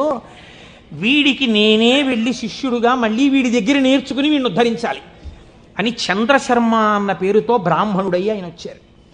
ఆయన వస్తూ ఉంటే ఈయన ఆపాడు. ఆపి మళ్ళీ ఈ ప్రశ్న అడిగాడు. అడిగితే ఆయన అన్నారు అది పక్వం వ్యాకరణం అంతా రా అన్నాడు. కానీ ఉపాధి బ్రహ్మరాక్షస ఉపాధిలో ఉన్నాడు. కాబట్టి ఆయన ఎక్కడ నేర్పుతానన్నాడు? స్కూల్లోనూ అక్కడ నేర్పణం రావి చెట్టు మీద కూర్చుని నేర్పుతాను రా. ఎందుకంటే శివాలయంలో నేర్పాలి. వ్యాకరణం పూర్వం వ్యాకరణ మంటపాలని శివాలయాల్లో ఉండేవి అక్కడే నేర్పాలి. కాబట్టి నీకు నేను రావి చెట్టు మీద నేర్పుతాను. రావి చెట్టు మీద కూడా ఎక్కడ? చిటారి కొమ్మ మీద కూర్చుని నేర్పుతాను. అక్కడ కూర్చో. ఎక్కడ పడిపోతానో అని కునుకు రాకుండా బాగా వింటావు. చెప్పేవాడు బ్రహ్మరాక్షసుడు. చెప్పేది చిటారి కొమ్మ మీద రావి చెట్టు మీద. టైం ఇవ్వను. ఉత్తర క్షణం అడ్మిషన్ ఇచ్చేసాను నీకు. రా ఎక్కేద్దాం చెట్టు అమ్మ బాబో ఇదో అఘాయిత్యం కింద ఉందని పాపం ఈ చంద్రశర్మ ఆయనతో పాటు చెట్టెక్కి చెట్టు చివారి కొమ్మ మీద కూర్చున్నాడు. ఈయన మహాభాష్యం చెప్పేస్తున్నాడు. ఇప్పుడు ఈ మహాభాష్యం రాసుకోవాలి. ఎక్కడ రాస్తాడు? రాయడానికి ఓ గంటమో ఓ తాటాకో తెచ్చుకోవడానికి టైం లేదు. అందుకని ఆయన రావ్యాకులు తుంపి ఒక పుల్ల ముక్క ఒకటి తీసి తొడ చీరుకున్నాడు. చీరుకుని అందులోంచి వస్తున్న నిత్తుటిలో పుల్ల ముంచి ఒక్కొక్క రావాకు మీద భాష్యం రాసుకున్నాడు. తొమ్మిది రాత్రులు తొమ్మిది పగళ్ళు పతంజలి మహాభాష్యాన్ని చంద్రశర్మకి చెప్పాడు. చెప్పగానే ఆయనకి శాప విమోచనం అయిపోయింది. శాప విమోచనం అయిపోయిన తర్వాత ఇప్పుడు నాకు బ్రహ్మరాక్షసుడిగా ఇంతకాలం బతిగాక పూర్ణ వైరాగ్యం వచ్చేసింది. కాబట్టి ఇంక నేను ఒక గురువు యొక్క పాదములను ఆశ్రయించి సన్యాస దీక్ష తీసుకుని నా జీవితాన్ని తరింప చేసుకుంటానని శుకబ్రహ్మ యొక్క పాదములు పట్టుకుని గౌడపాదాచార్యుల వారైన వారు వారే. మనం శంకరాచార్యుల వారి గురు పరంపరలో గౌడపాదాచార్యుల వారిని చెప్తాం. ఎవరో తెలుసా అండి ఆ గౌడపాదాచార్యుల వారు? ఈ బ్రహ్మరాక్షసుడే గౌడపాదులు అయ్యారు గౌడపాదులై శుకబ్రహ్మ యొక్క పాదములు పట్టుకుని సన్యాస దీక్ష తీసుకుని గౌడపాదాచార్య పేరుతో ఉన్నారు ఆయన ఈ చంద్రశర్మ ఈ రావ్యాకుల మీద రాసుకున్న మహాభాష్యం అంతా ఓ బట్టలో మూట కట్టాడు. మూట కట్టుకుని వెళ్ళిపోతున్నాడు ఆయన. వెళ్ళిపోతుంటే పాపం తొమ్మిది రాత్రులు తొమ్మిది పగళ్ళు నిద్ర లేదు. అడవిలో ఒక చోట మూట తల కింద పెట్టుకుని నిద్రపోతున్నాడు. ఎక్కడి నుంచో మేక వచ్చింది. ఇవేవో రావ్యాకులు బాగానే ఉన్నాయని ఆ మూటలో మూతెట్టి లాగేసి కొన్ని ఆకులు తినేసి ఇప్పుడు ఆ వ్యాకరణంలో ఉన్న మహాభాష్యంలో పోయిన ఆకుల్ని ఏమని పిలుస్తారో తెలుసా అండి? అజభక్షిత భాష్యము అని పిలుస్తారు. మేక చేత తినబడిన భాష్యం అని పేరు దానికి. అది మేక తినేసి. మిగిలిన మూట కట్టుకుని అడవిలో పడుకుంటే ఇబ్బందిగా ఉందని ఆయన ఒక ఊర్లోకి వచ్చి ఒక వైశ్యుడి ఇంటి అరుగు మీద పడుకుని నిద్రపోయారు. తొమ్మిది రాత్రులు తొమ్మిది పగళ్ళు అన్నం లేదు నిద్ర లేదు. శరీరం శోషించిపోయింది. నిద్ర లేదు. ఇంకా ఎంత గాఢ నిద్ర పట్టేసిందంటే ఆకలి కూడా చూసుకోకుండా నిద్రపోతున్నారు. ఆ వైశ్యుడికి ఒక కన్యారత్నం ఉంది. ఆ అమ్మాయి చూసి ఈయన నిద్దట్లోనే మరణిస్తాడేమో అని బెంగ పెట్టుకుని ఒక గొప్ప వైద్య చికిత్స చేసింది. ఇప్పుడు మనం ఆ సిలైన్లవి ఎక్కించాలంటే శరీరానికి సూదితో పొడిచి ఎక్కిస్తాం. మన ఆయుర్వేద శాస్త్రం అలా ఒప్పుకోలేదు. ఎందుకంటే పతంజలి మూడింటికి వ్యాఖ్యానం ఇచ్చారు. మనస్సు వాక్కు కాయము. మనస్సు కోసమని యోగ సూత్రాలు ఇచ్చారు ఆయన. వాక్కు కోసం వ్యాకరణం ఇచ్చారు. అలాగే మనస్సు వాక్కు కాయము శరీరం ఆరోగ్యంగా ఉండడానికి చరకుడి యొక్క ఆయుర్వేద సూత్రాలకి భాష్యం చేశారు ఆయన. మూడింటికి భాష్యం ఇచ్చారు. ఆ పిల్ల వైద్య శాస్త్రంలో దిట్ట. ఈ అమ్మాయి ఏం చేసిందంటే పెరుగన్నం బాగా మెత్తగా కలిపేసి ఈ పెరుగన్నాన్ని తీసుకొచ్చి ఒంటి నిండా పూసేసింది ఈ బ్రాహ్మణ పిల్లవాడికి ఈ చంద్రశర్మకి. పెరుగన్నం తొందరగా రోమరంధ్రాల్లోంచి లోపలికి వెళ్ళిపోతుంది. అది లోపలికి వెళ్ళిపోయి ఈ పిల్లవాడికి బలం వచ్చింది. బలం వచ్చి తొమ్మిది రోజుల భోజనం లేని స్థితి నుంచి శక్తిని పొందాడు. శక్తిని పొంది తెలివి వచ్చింది తెలివి వచ్చి అమ్మయ్యా బడలికా పోయింది. సత్తువా వచ్చిందని? ఆ మూట చూసుకున్నాడు మూట ఉంది మూట పట్టుకుని వెళ్ళిపోతున్నాడు.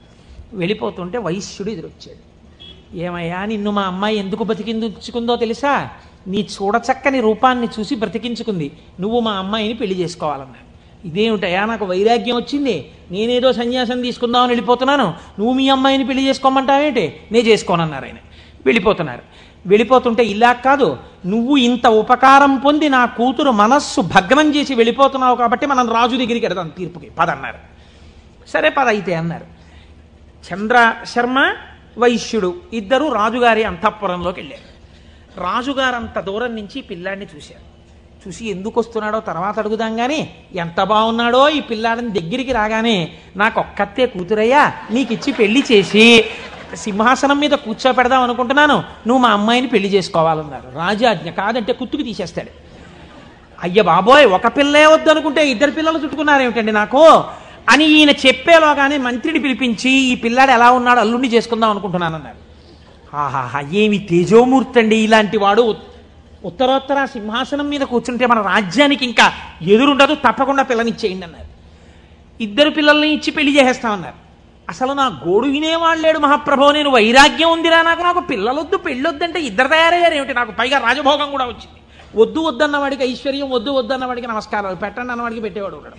అని ఆయన బాధపడుతుంటే మంత్రి గారు ప్రాజ్ఞుడు ఆయన అన్నాడు ఏమండి బ్రాహ్మణుడు బ్రాహ్మణేతరులను వివాహం చేసుకోవాలంటే ముందు బ్రాహ్మణ కన్యను చేసుకోవాలి. కాబట్టి ఉత్తమ కుల సంజాత అయిన ఒక బ్రాహ్మణ పిల్లని తెచ్చి ముందు పెళ్ళి చేసి తర్వాత వీళ్ళిద్దరిని చేసేద్దాం అన్నారు. ఓహో ఇద్దరు ముగ్గురు కూడా అయ్యారు ఏమిటనుకున్నాడు ఆయన. ముందు బ్రాహ్మ ఆయన గోడు వినేవాడు లేడు. బ్రాహ్మణ కాంతం తెచ్చారు వైశ్యకాంతని తెచ్చారు క్షత్రియ కాంతని తెచ్చారు తాళిగట్టేవారు ఆయన అన్నాడు మీరు ఎలాగో ఇప్పుడు పెళ్ళొద్దంటే వినరు.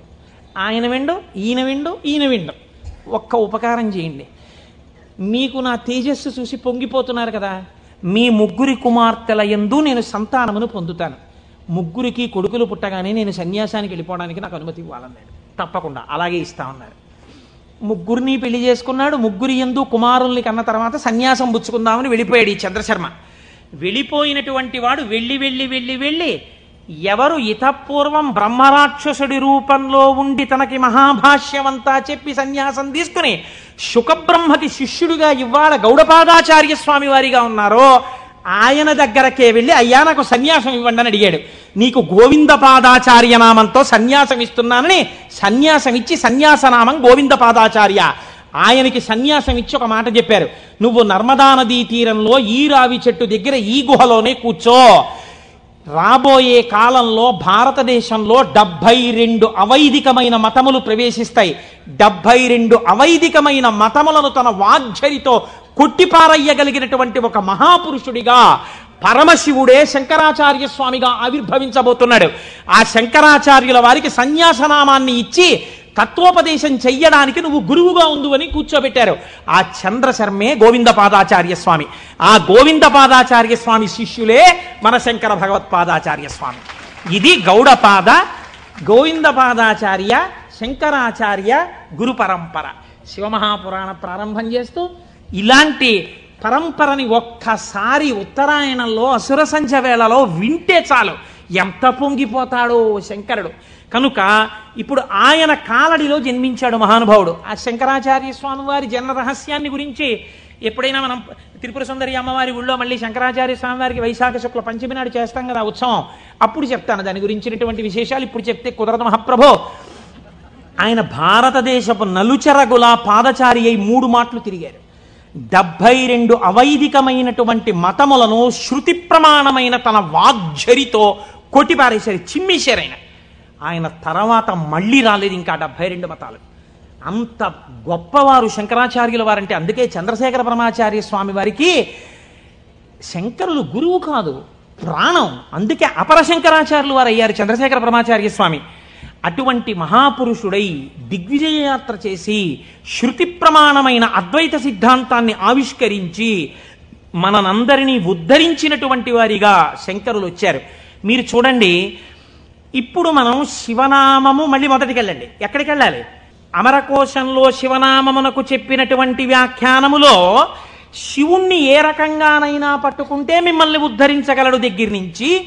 శ్రేయం మంగళం కళ్యాణం భద్రం శ్రేయస్సు శోభనం. ఇవి కేవల మంగళములేనా ఇంకేమన్నా ఉన్నాయా? దగ్గరికి వెళ్ళండి. అందుకు తీసుకొచ్చాను దీన్ని ఇప్పుడు. ఇక్కడి నుంచి అక్కడికి వెళ్ళండి మళ్ళీ ఒక్కసారి. వెడితే మీకు ఈ శివనామమును ఎక్కడ దాచారు? శివనామము పంచాక్షరిగా కదండి ఉంది? నమశివాయ అని పంచాక్షరి. నమశివాయ అన్న మాట చెప్పడానికి వేదం ఎంత కట్టడి చేసి చెప్పింది? ఎంత జాగ్రత్తగా చెప్పింది పంచాక్షరి మంత్రాన్ని? మీరు జాగ్రత్తగా చూడండి. ఇది జాగ్రత్తగా గమనించండి మీరు. మీరు అయ్యప్ప స్వామి దర్శనానికి వచ్చారనుకోండి. అలా గేటు దగ్గర నిలబడి అయ్యప్ప స్వామి దర్శనం చేసుకుంటానంటే మీకు కనపడరు. మీరు అక్కడ చెప్పులు విప్పాలి లోపలికి రావాలి ఇక్కడ ఉన్నటువంటి పరివార దేవతలందరినీ దర్శనం చెయ్యాలి మెట్లెక్కాలి గణపతికి సుబ్రహ్మణ్యుడికి ప్రదక్షిణం చెయ్యాలి ధ్వజస్తంభం పక్క నుంచి లోపలికి వెళ్ళాలి స్వామికి ఒక పక్కకి వెళ్ళి నిలబడి ఆయన వంక చూస్తే అప్పుడు మీరు సంతోషంగా స్వామి దర్శనం చేస్తారు. అలాగే ఈ పంచాక్షరిని వేదం ఎక్కడ దాచిందో చూడండి. మనకి వేదములు నాలుగైనా సాధారణంగా మనం ఏమంటామంటే మూడుగా వ్యవహరిస్తాం సంప్రదాయంలో. అందుకే శంకరాచార్యులు వారు కూడా శివానంద లహరిలో త్రైవేద్యం హృద్యం త్రిపురహరమాద్యం త్రినయనం అన్నారు. త్రైవేద్యం అనడానికి ఒక కారణం ఉంది. ఋగ్వేదం యజుర్వేదం సామవేదం ఈ మూడు వేదాలు నేర్చుకోవడానికి ఒక్కసారి ఉపనయనం చేసుకుంటే చాలు. ఒకసారి ఉపనయనం చేసుకుంటే మూడు వేదాలలో ఉండేటటువంటి సారాంశమునకు కూడా ఒక సావిత్రి ఉపదేశం ఒక గాయత్రి ఉపదేశంతో మూడు వేదాలు చదవచ్చు. అధర్మ వేదం చదువుతాను అన్నారు అనుకోండి ఎవరైనా ఈ మూడు వేదాలు చదవడానికి కావలసినటువంటి ఉపనయనం సరిపోదు. అధర్మ వేదం కూడా చదవాలంటే మళ్ళీ ఉపనయనం చేసుకోవాలి. మళ్ళీ ఉపనయనం చేసుకుని మళ్ళీ ఇంకొక బ్రహ్మోపదేశం పొందాలి. పొంది అధర్వవేదం చదవాలి. అందుకని త్రైవేద్యం అంటారు సాధారణంగా. ఈ మూడు వేదములు ఋగ్వేదం యజుర్వేదం సామవేదం మీరు మూడు అలా పెట్టారనుకోండి. ఒక దేవాలయ ప్రాంగణం ఉన్నట్టుగా మూడు వేదాలు అలా పెడితే ఈ మూడు వేదాలకి మధ్యలో ఏ వేదం ఉంది? ఇది ముందరి ద్వారం ఇది వెనక ద్వారం ఇది ఋగ్వేదం ఇది సామవేదం. ఈ మధ్యలో ఉన్నది యజుర్వేదం. ఇప్పుడు ఈ యజుర్వేదానికి ఏడు కాండలు ఉన్నాయి ఏడు కాండలు ఒకటి రెండు మూడు నాలుగు ఐదు ఆరు ఏడు. ఇప్పుడు ఇందులో మళ్ళీ మధ్య ప్రాకారం ఏది? నాలుగో కాండ. కదండి ముందు మూడు వెనక మూడు మధ్యలోది నాలుగు. ఇప్పుడు ఈ నాలుగో కాండలో ఏముంది? యజుర్వేదంలో రుద్రాధ్యాయం ఉంది. మళ్ళీ రుద్రాధ్యాయంలో అష్టమానువాకం మీరు తీసుకోండి. మధ్యలోకి అష్టమానువాకం వస్తుంది. అష్టమానువాకం మీరు తీసి ఇప్పుడు చదవండి అష్టమానువాకాన్ని. నమ సోమాయ చ రుద్రాయ చ నమస్తామ్రాయ చ అరుణాయ చ నమ శంగాయ చ పశుపతయే చ నమ ఉగ్రాయ చ భీమాయ చ నమో అగ్రే వధాయ చ దూరే వధాయ చ నమో హంత్రే చ హనీయసే చ నమో వృక్షేభ్యో హరికేశేభ్యో నమస్తారాయ నమ శంభవే చ మయోభవే చ నమ శంకరాయ చ మయస్కరాయ చ నమ శివాయ చ శివతరాయ చ. అష్టమానువాకం చిట్ట చివర్లో నమ శివాయ చ అక్కడ పెట్టారు. ఈ నమ శివాయ చాకి ముందు ఏం పెట్టారు? మయస్కరాయ చా. మయస్కరాయ చా అంటే గురువు. గురూపదేశంతో పంచాక్షరిని పొందాలి. మయస్కరాయ చా. ఈ గురువుల పరంపరలో మొట్టమొదట లోకంలో శివనామాన్ని ప్రచారం చేసి అద్వైత సిద్ధి వైపుకు నడిపించిన వాళ్ళు ఎవరు? నమ శంకరాయ చా. శంకర భగవత్పాదులు. ఆ శంకర భగవత్పాదులు ఎవరు? శంకరుడే. ఎలా చెప్పగలరు? రుద్రాధ్యాయంలోనే అభిషేక మంత్రాల్లోనే ఒక చోటు ఉంది. నమ కపర్దినేచ వ్యుక్తకేశాయచ అని. కపర్దినేచ అంటే పెద్ద జటాజూటం ఉన్నవాడు. వ్యుక్తకేశాయచ అంటే అసలు వెంట్రుకలు లేనివాడు. మొత్తం పూర్ణమండలం చేయించేసుకుని గుండు చేయించేసుకుని ఉన్నవాడు. అలా ఎలా కుదురుతుందండి? పక్కనే ఉన్న నామంలో పెద్ద జటాజూటమా? ఆ పక్కనే ఉన్న నామంలో ఒక్క వెంట్రుక కూడా లేనటువంటి గుండుతో ఉన్నవాడా? ఈ రెండు ఎలా సమన్వయం అవుతాయి అంటే పెద్దలు అన్నారు నీ ఇష్టం వచ్చినట్టు చెప్పడానికి వీలు లేదయా? అలా వ్యుక్తకేశాయచ గుండుతో శివుడున్నాడని ఎక్కడైనా చెప్పారా? అంటే వ్యాస భగవానుడు వాయుపురాణంలో చెప్పారు గుండుతో శివుడున్నాడు అని. గుండుతో శివుడు ఎక్కడున్నాడు? ఎందుకంటే దక్షిణామూర్తిగా కూడా జటాజూటంతో ఉంటారు. శివుడిగా జటాజూటంతో ఉంటారు. పూర్ణముండనంతో గుండు చేయించుకున్నటువంటి శివస్వరూపం లేదు. మరి వాయుపురాణం ఎలా చెప్పింది ఉన్నాడని. అంటే వాయుపురాణం ఒక విషయాన్ని వ్యాస భగవానుడు ప్రతిపాదన చేస్తూ చెప్పారు. చతుర్భిస్సహ శిష్యైస్తూ శంకరో అవతరిష్యతి. నలుగురు శిష్యుల మధ్యలో కూర్చుని గుండుతో ఉండి మీద బట్ట కప్పుకున్న సన్యాసి రూపంలో ఎవరు కనపడుతున్నాడో ఆయనే పరమశివుడు అని చెప్పింది. ఇప్పుడు నలుగురు శిష్యుల మధ్యలో కాషాయ బట్ట ఇలా గుండు మీద వేసుకుని చేతిలో వేదాలు పట్టుకుని ఇలా చిన్ముద్ర పట్టి కూర్చున్నది ఎవరు? ఎవరండి? శంకరాచార్య స్వామి. నమ కపర్దినేచ పరమశివుడు. వ్యుక్త కేశాయ చ శంకరాచార్యులు వారు. కాబట్టి ఇప్పుడు ఈ శంకరాచార్యులు వారు ఎవరు? పరమశివుడే. రుద్రాధ్యాయంలో రహస్యంగా చెప్పేసింది. ఎప్పుడో రాబోయేటటువంటి శంకరావతారాన్ని రుద్రాధ్యాయం చెప్పింది. ఆయన్ని మయస్కరాయచ ఆ శంకరుల గురు పరంపర ఉన్నదే. అది సదాశివ సమారంభాం లేకపోతే నారాయణ సమారంభాం వ్యాసశంకర మధ్యమాం అస్మదాచార్య పర్యంతాం వందే గురు పరంపరాం. ఆనాడు పరమశివుడు కపర్ది అని ఇంత జుత్తుతో ఉన్నవాడి నుంచి ప్రారంభమైనటువంటి ఈ గురు పరంపర మధ్యలో శంకరాచార్య స్వామి ఉంటే ఈనాడు నాకంటి ఎదుట నాకు శంకరాచార్య స్వరూపమై నన్ను నిలబెట్టి ఆశీర్వదించి నడుపుతున్నటువంటి నా గురువు బ్రహ్మశ్రీ మల్లంపల్లి అమరేశ్వర ప్రసాద్ గారి వరకు ఆ గురు పరంపరయే నడుచుచున్నది. ఎవరికి వారు వారి గురువు వరకు ఇలాగే చెప్పుకుంటాం. సదాశివ సమారంభాం శంకరాచార్య మధ్యమాం అస్మదాచార్య పర్యంతాం వందే గురు పరంపరాం. ఈ గురువు ఏం చేస్తున్నారు? మీకు నడుబడి నేర్పుతున్నారు. ఈ గురువు ఏం చేస్తున్నారు? ఉదారమూర్తి అయి మిమ్మల్ని ఆశీర్వదిస్తున్నారు. ఈ గురువు ఏం చేస్తున్నారు? మీ ఉద్ధరణ కోసం ఈశ్వరుణ్ణి ప్రార్థన చేస్తున్నారు. అటువంటి గురువే ఈశ్వర స్వరూపుడై ఉన్నాడు. ఎప్పుడెప్పుడు లోకంలో వేద ప్రమాణాన్ని చెడగొట్టడానికి అవైదికమైనటువంటి వాదనలు ప్రబలుతాయో అప్పుడప్పుడు పరమేశ్వరుడే బయలుదేరి వచ్చి అవతార స్వీకారం చేశారు. కృష్ణ భగవానుడు కూడా చేశాడు. గీత ప్రచారాన్ని మహానుభావుడై ప్రస్థానత్రయంలో ఒకటండి భగవద్గీత. అంతటి భగవద్గీతను మనకు అందించినటువంటి జగదాచార్యుడు కృష్ణ పరమాత్మ. ఆయన కూడా జగదాచార్యుడే. ఒకటే కదండి ఉన్నది పరబ్రహ్మతత్వం. అదే కృష్ణుడిగా భాషించింది ఒకనాడు. అటువంటి భగవద్గీతనిచ్చినటువంటి కృష్ణ పరమాత్మ యొక్క అవతారం ఎందుకు కలియుగంలో వచ్చేటటువంటి ప్రమాదముల నుంచి ఉద్ధరించగలిగినంత జ్ఞానబోధ ఎందుకు చెయ్యలేదు? ఒక్కటే కారణం. ద్వాపర యుగంలో అప్పటికే ధర్మాన్ని నిర్వీర్యం చేసేటటువంటి వాళ్ళ సంఖ్య కోట్లలోకి వెళ్ళిపోయింది. కృష్ణావతారం ప్రారంభం నుంచే ఎంత రాక్షస సంహారం చేశాడండి మహానుభావుడు. కన్నులు తెరువని కడుచిన్ని పాపడై దానవి చనుబాలు త్రావి చంపే పుతనా సంహారంతో మొదలుపెట్టి ఎంతమంది రాక్షసుల్ని చంపాడు? జరాసంధాది రాక్షసులందరినీ ముందే చంపకపోతే కురుక్షేత్రంలో నిజంగా పాండవులు నిలబడగలరా? ఇంతమందిని చంపాడు. అవతారంలో ఉన్న తక్కువ సమయంలో ఆయన కురుక్షేత్ర మధ్యంలో సమస్త వాంగ్మయాన్ని భగవద్గీత రూపంలో బోధ చేశాడు. కానీ అది సరిపోదేమో? కలియుగం అంటే అసలు మనస్సు నిలబడనటువంటి యుగం. మరి మనస్సు నిలబడదు కలిపురుషుడి యొక్క ప్రకోపాలు చాలా ఎక్కువగా ఉంటాయి అన్నప్పుడు ఇంకా ఈ గురువులు ఎందుకు ఈ బోధలు ఎందుకని మీరు నన్ను అడగచ్చు? దానికి ఒక్కటే జవాబు పరమాచార్య స్వామి వారు చెప్పినటువంటివి. నేను ఉపన్యాసాల్లో చెప్పే చాలా భాగాలు పరమాచార్య స్వామి వారివి. కాబట్టి ఆయన అంటారు మీరు చూడండి దొంగలు పడుతున్నారు కాకినాడకి దొంగల ముఠాలు వచ్చాయి. దొంగలు కొట్టేస్తున్నారు ఇళ్ళు దొంగలు కొట్టేస్తున్నారు అన్నారు అనుకోండి.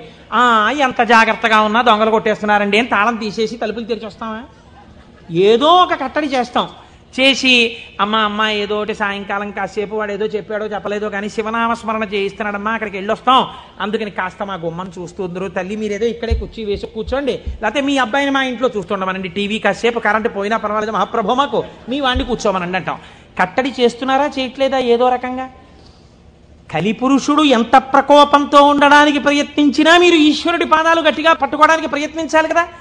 దానికి ప్రస్థానత్రయ భాష్యంతో మొదలుపెట్టి ఈశ్వరుణ్ణి స్తోత్రం చెయ్యడం వరకు ఆకాశం నుంచి పాతాళం వరకు సమస్త వాంగ్మయాన్ని జ్ఞానబోధ తప్ప ఇంకొక ప్రయత్నం కాని పని కాని పెట్టుకోకుండా ముప్పై రెండేళ్ళ జీవితంలో షణ్మత స్థాపనాచార్యులై శృతి ప్రమాణాన్ని నిలబెట్టి అందరి దేవతల మీద స్తోత్రాలు చెప్పి శివానందలహరి సౌందర్యలహరి బ్రహ్మసూత్ర భాష్యం ఎన్ని చేశారండి మహానుభావుడు శంకరాచార్యులు వారు. వారి పేరు చెప్తే చాలు పాపాల పటాపంచలైపోతాయి. శృతి స్మృతి పురాణానాం ఆలయం కరుణాలయం. నమామి భగవత్పాద శంకరం లోకశంకరం. అటువంటి శంకర భగవత్పాదులై ఈ భూమి మీద నడయాడి మనకి జ్ఞానబోధ చేశారు. ఇప్పుడు చెప్పండి శుభం కళ్యాణం శ్రేయం భద్రం శోభనం ఇవన్నీ ఎందులోకి వెళ్ళిపోతాయి? జ్ఞానంలోకి వెళ్ళిపోతాయి. జ్ఞానం కన్నా గొప్ప కళ్యాణం జ్ఞానం కన్నా గొప్ప శుభం జ్ఞానం కన్నా భద్రం జ్ఞానం కన్నా శ్రేయం జ్ఞానం కన్నా శోభనం ఇంకున్నాయా ప్రపంచంలో లేవు. అటువంటి జ్ఞానమును మీకు అందించడానికి పరమేశ్వరుడే శంకరుడిగా ఈ భూమండలము మీద నడయాడినాడు. కాదు ఇప్పుడు కూడా శంకరుడు కరచరణాదులతో తిరుగుతున్నాడు. నాకు అలాగే తిరుగుతున్నాడు. నా కంటికి నేను ఆరాధించేటటువంటి పరమేశ్వరుడే కరచరణాదులతో తిరుగుతున్నాడు. నేను పట్టుకోవడానికి తన పాదములను అనుగ్రహిస్తున్నాడు. తన చేతిని నా మూర్ధన్య స్థానమునందుంచి ఆశీర్వచనం చేస్తున్నాడు. నాకు అనుమానం వస్తే రాత్రనక పగలనక నేను వెళ్ళి పరిగెత్తుకెళ్ళి కూర్చుని గురువుగారు దీనికి ఎలా చెప్పాలండి? అంటే నాన్న నీకు ఫోన్ చేసి చెప్తాను ఇప్పుడు టైం లేదని. ఫోన్ చేసి నాన్న నువ్వు అడిగిన శ్లోకానికి ఇది వ్యాఖ్యానం. అని ఫోన్ చేసి చెప్పగలిగినటువంటి ఉదారుడై ఆ పరమశివుడు ఆ శంకరుడు నాకు మల్లంపల్లి అమరేశ్వర ప్రసాద్గా నడయాడుతున్నారు. మీకు మీ గురువుగా నడయాడుతున్నారు. తిరుగుతున్నారా తిరగట్లేదా? పరంపరగా నడయాడుచున్నారు ఇది శివం ఇది మంగళం ఇది భద్రం ఇది శ్రేయం ఇది శోభనం. కాబట్టి మనం ఎవరికి నమస్కరిస్తాం? గురు బ్రహ్మ గురుర్ విష్ణు గురుర్దేవో మహేశ్వర గురు సాక్షాత్ పరబ్రహ్మ తస్మై శ్రీ గురవే నమ. అటువంటి గురువు ఇప్పటికీ మీకు శుభములిచ్చేవాడై శోభనములనిచ్చేవాడై మంగళప్రదుడై ఉన్నాడు కాబట్టి రుద్రాధ్యాయం వేదములు అంత జాగ్రత్తగా సమన్వయం చేస్తూ ఆ శంకరులు వస్తారని అంత స్థితిని పతంజలి నటరాజస్వామి దర్శనం దగ్గర నుంచి మొదలుపెట్టి పక్కన ఇలా నిలబడి నటరాజ తాండవం చూసినందుకు ఒకనాడు నేను ఈ శంకరుడే శంకరాచార్యులు వారిగా వస్తే తత్వబోధ చేసేటటువంటి వాణ్ణి లోకంలో తయారు చేయాలని గోవిందపాదాచార్యుల వారిగా సిద్ధం చేయించుంచారు. కాబట్టి మన ఆర్ష జాతి మన సనాతన ధర్మము మన పురాణములు ఎంత గొప్పవో ఆ శివ అన్న మాట ఎంత గొప్పదో ఆ శివం అన్న మాట ఎంత భద్రమో ఎంత శ్రేయస్కరమో దాని గురించి వింటే దాని గురించి తలుచుకుంటే ఎంత పరవశమో. పవి పుష్పంబగు అగ్ని మంచగు నాకూపారం భూమిస్థలంబగు శత్రుండతి మిత్రుడవు విషము దివ్యాహారమౌ నెన్నగా.